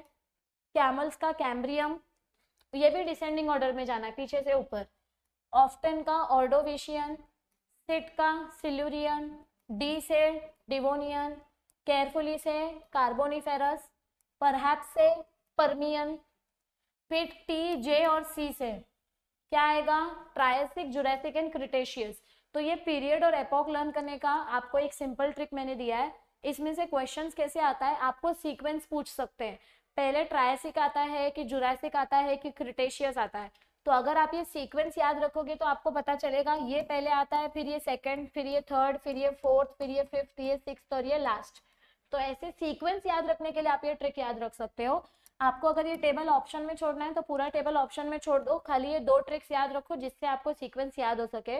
और ये प्लांट लाइफ और एनिमल लाइफ में से एक दो चीज़ें, जैसे एनजियोस्पर्म्स कब आए और मैमल्स का, ये देखो मैमल्स कब आए, वो सब अगर देखना है। Oligocene emergence of origin of man ये एक प्लियोसिन वाला आप एग्जांपल देख सकते हो, ये वाला एक एग्ज़ाम्पल इंपॉर्टेंट है। एनजियोस्पर्म्स के बारे में देख सकते हो, ऐसे एक दो टेबल पढ़ लो, नहीं तो पूरा ऑप्शन में छोड़ोगे तो चलेगा, सिर्फ़ पीरियड और एपॉक लर्न कर लेना, क्योंकि बहुत डिटेल में इतना आता नहीं है एग्ज़ाम में। ह्यूमन इवोल्यूशन क्यों हुआ? क्योंकि धीरे धीरे करके हम जंगल में से, झाड़ पे से लैंड पे रहने लगे। जैसे ही हम लैंड पे रहने लगे तो हमने टेरिस्ट्रियल अडेप्टेशन दिखाया। चार चार पैर की जगह हम दो पैर पे चलने लगे, जिसके वजह से धीरे धीरे करके अपना जो बॉडी है वो स्ट्रेट होने लगा। किधर गया वो डायग्राम हाँ चार पैर पे हम चलते थे तो अपना हाथ पहले लंबा होता था हिंड लिम ज़्यादा लंबे होते थे। लेकिन धीरे धीरे करके जैसे हमारी बॉडी स्ट्रेट होते गई तो अपने हाथ धीरे धीरे करके छोटे होते गए और पैर धीरे धीरे करके लंबे होते गए।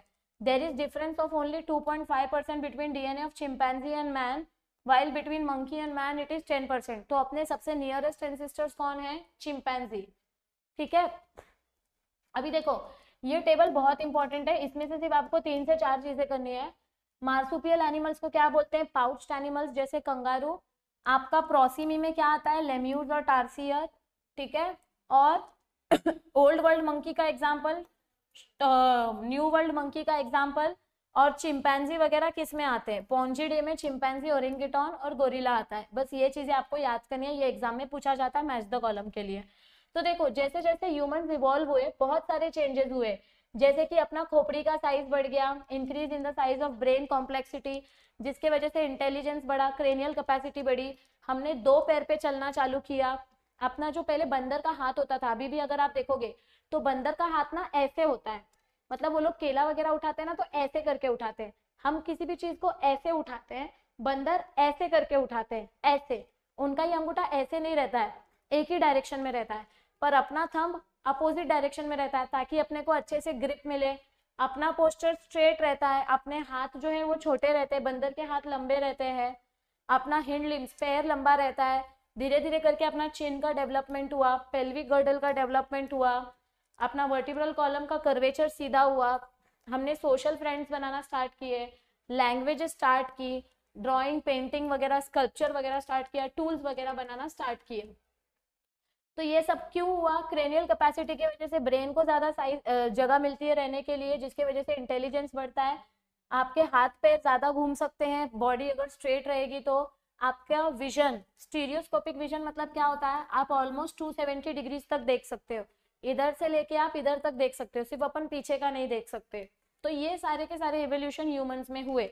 अभी ये टेबल लर्न करना है। तो दिगंबर माली सर का एक ट्रिक था।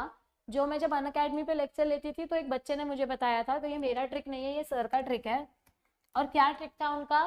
ड्रा हेंस ड्रा हेंस ठीक है? आपको ना एग्ज़ाम में इसका सीक्वेंस पूछा जाता है कि इसका सीक्वेंस बताओ। तो पहला आता है ड्रायोपिथेकस दूसरा आता है रमैपिथेकस तीसरा ऑस्ट्रेलोपिथेकस फिर Homo Homo habilis H H H फिर Homo erectus Neanderthal man and Homo sapien तो आपको सबसे पहले ये लर्न करना है, उसका अपियरेंस लर्न करना है। होमो इरेक्टस को एप मैन बोलते हैं होमो हेबिलिस को हैंडी मैन बोलते हैं और ये आपका कनेक्टिंग लिंक है एप और ह्यूमंस के बीच का।